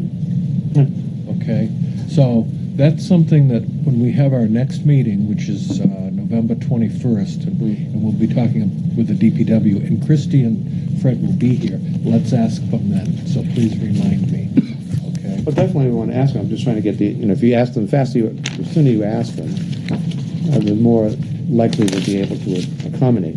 I think they're going to be here anyway, but You think they're gonna be here anyway that particular it's my own speculation. If you just ask them like tonight or tomorrow or whatever, they'll have more advance notice. That's all I'm suggesting. Okay. So just some transactional overview of the fund. If she had a, if she has a list of the funds handy, that would be great, so we have an overview. Okay, Christie. Steve, I will, hold on, hold on, Sonny. I will uh, send her an email when I get home tonight, and, uh, and so that she can prepare herself, bring the list, and be able to uh, talk about it. I'll yield in hopes that that time will give me an opportunity to think of what I forgot. Thank you, Tim. Okay, Sonny, you wanted? Yeah, The point I want to make on the water line, the developer or the is gonna pay for it, except he's gonna ask for an abatement, so it would be the taxpayers that would end up paying for it. I don't know that for a fact. I specifically asked Mr. Welch who was going to pay for the water connection, because you had asked, okay? And he specifically told me Liberty Lane Associates. Right, The and then- person, the, then the person that's Liberty do, gonna ask that's for putting into the, On his property tax. yeah, I don't, I don't know that. So that means that less revenue. This is all hypothetical. Yeah, that was, that was one of the things that Mark worked on for so long. That's why it took a year, to make sure the town had no liability with that. So if it's completely owned by the association, and they have to maintain it. Okay, does that answer your question? Okay. Anybody else have any, uh, any business at all? Okay, seeing none? Is my expectation that I'll be showing up at the school committee meeting on Tuesday, not as a budget committee member. So don't let anybody be confused by that. Okay. I'll just be plain old Citizen Jones. Very nice. Uh, I'll entertain a motion to adjourn. I'll move. Bob? Bob moved, seconded by Regina. All those in favor? Aye. Uh, okay, we're adjourning, we're adjourning, uh, yeah, adjourning. Adjourning at nine eighteen. Thank you, Channel twenty-two.